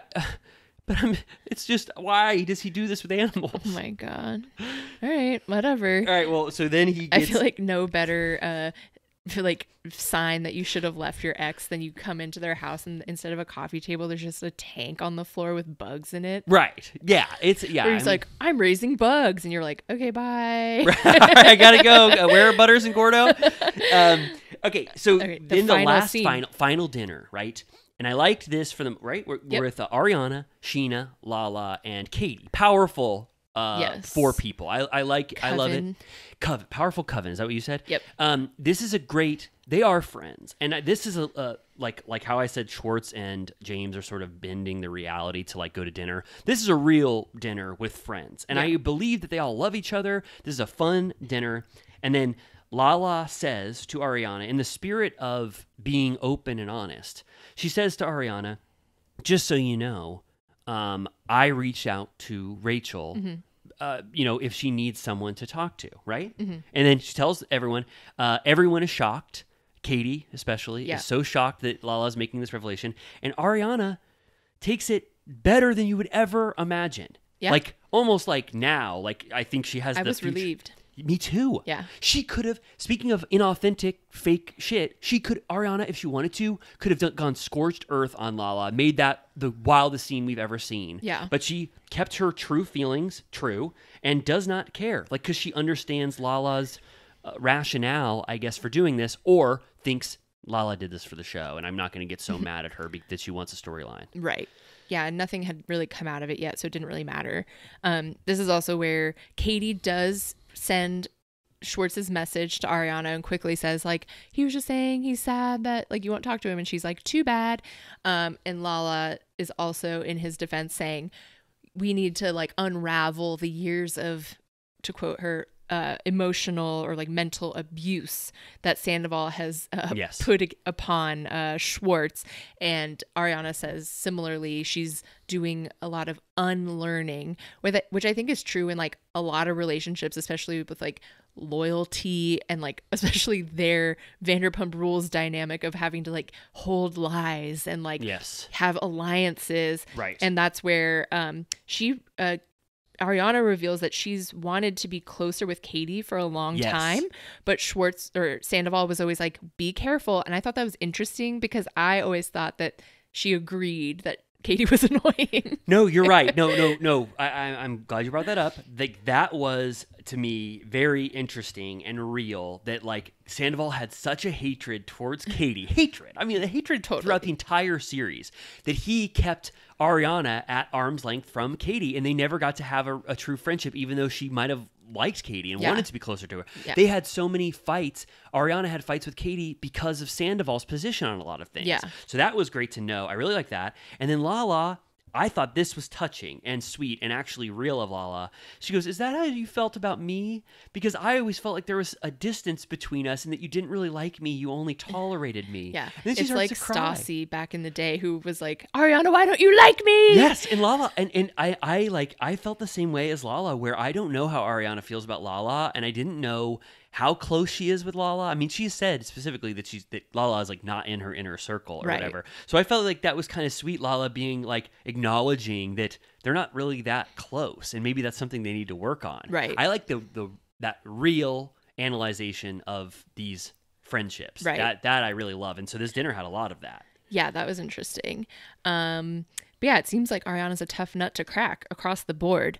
Um, and then, yeah, uh, Lala's just going into, you know, I, I feel like I need to say that I understand parts of what Rachel went through. Yeah. Um, and then Scheana's like, they're Katie and Scheana are kind of like, it's not the same. Like, don't even go there. It's not the same. Um, like the situation is this like similar, but the players are different. And then Scheana's like, and by the way, she put a temporary restraining order on me, and I'll never forget it. And it's like, okay, back on it being about Scheana. Scheana has to remind why this is affecting her. Yes. Right. Uh, which I'm sure will be a through line. Um, and then it- they're all like, "What a great night, great girls' night!" And then it cuts to Ariana and Tom's house, and you're like, "Oh, is she coming home from dinner?" No, No. A man's sneaker steps down from the Yes. Escalade or whatever. Yep. And it's Tom fresh off of World's Toughest Test. Yep. He walks in, you see him go up the stairs, and you just hear, hello. Hello. um, first of all, two things.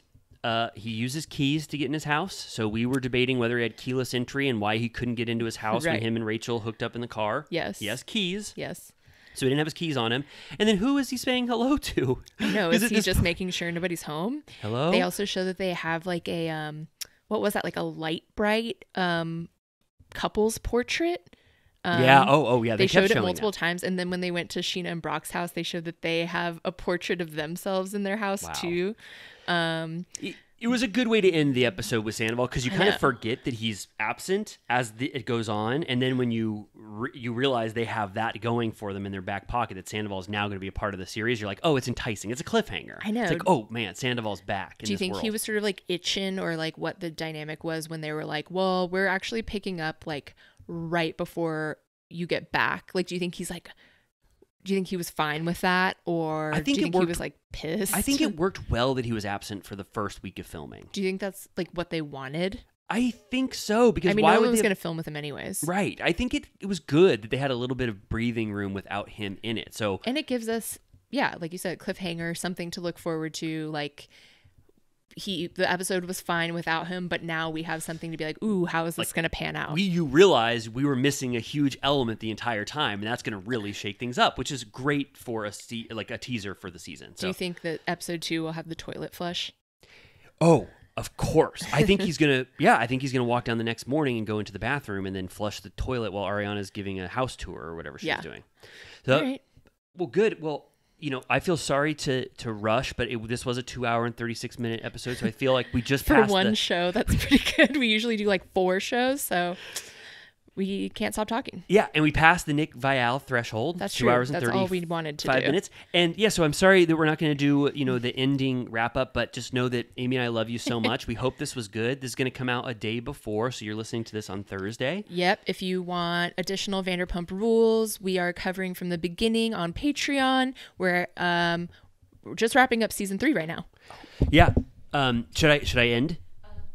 Okay, so sorry, and our YouTube just completely shut off. I don't know why. I think it's a sign that Amy and I have to leave. But please, uh, you know, if you want to hear us more, go on Patreon, and then also please leave us a review if you liked us. But don't base us off this episode alone. Think about the entire arc of The Turtle Time. Just yeah, not just this one. Okay, we love you so much. Go to sleep now. We love you more than life itself. Bye.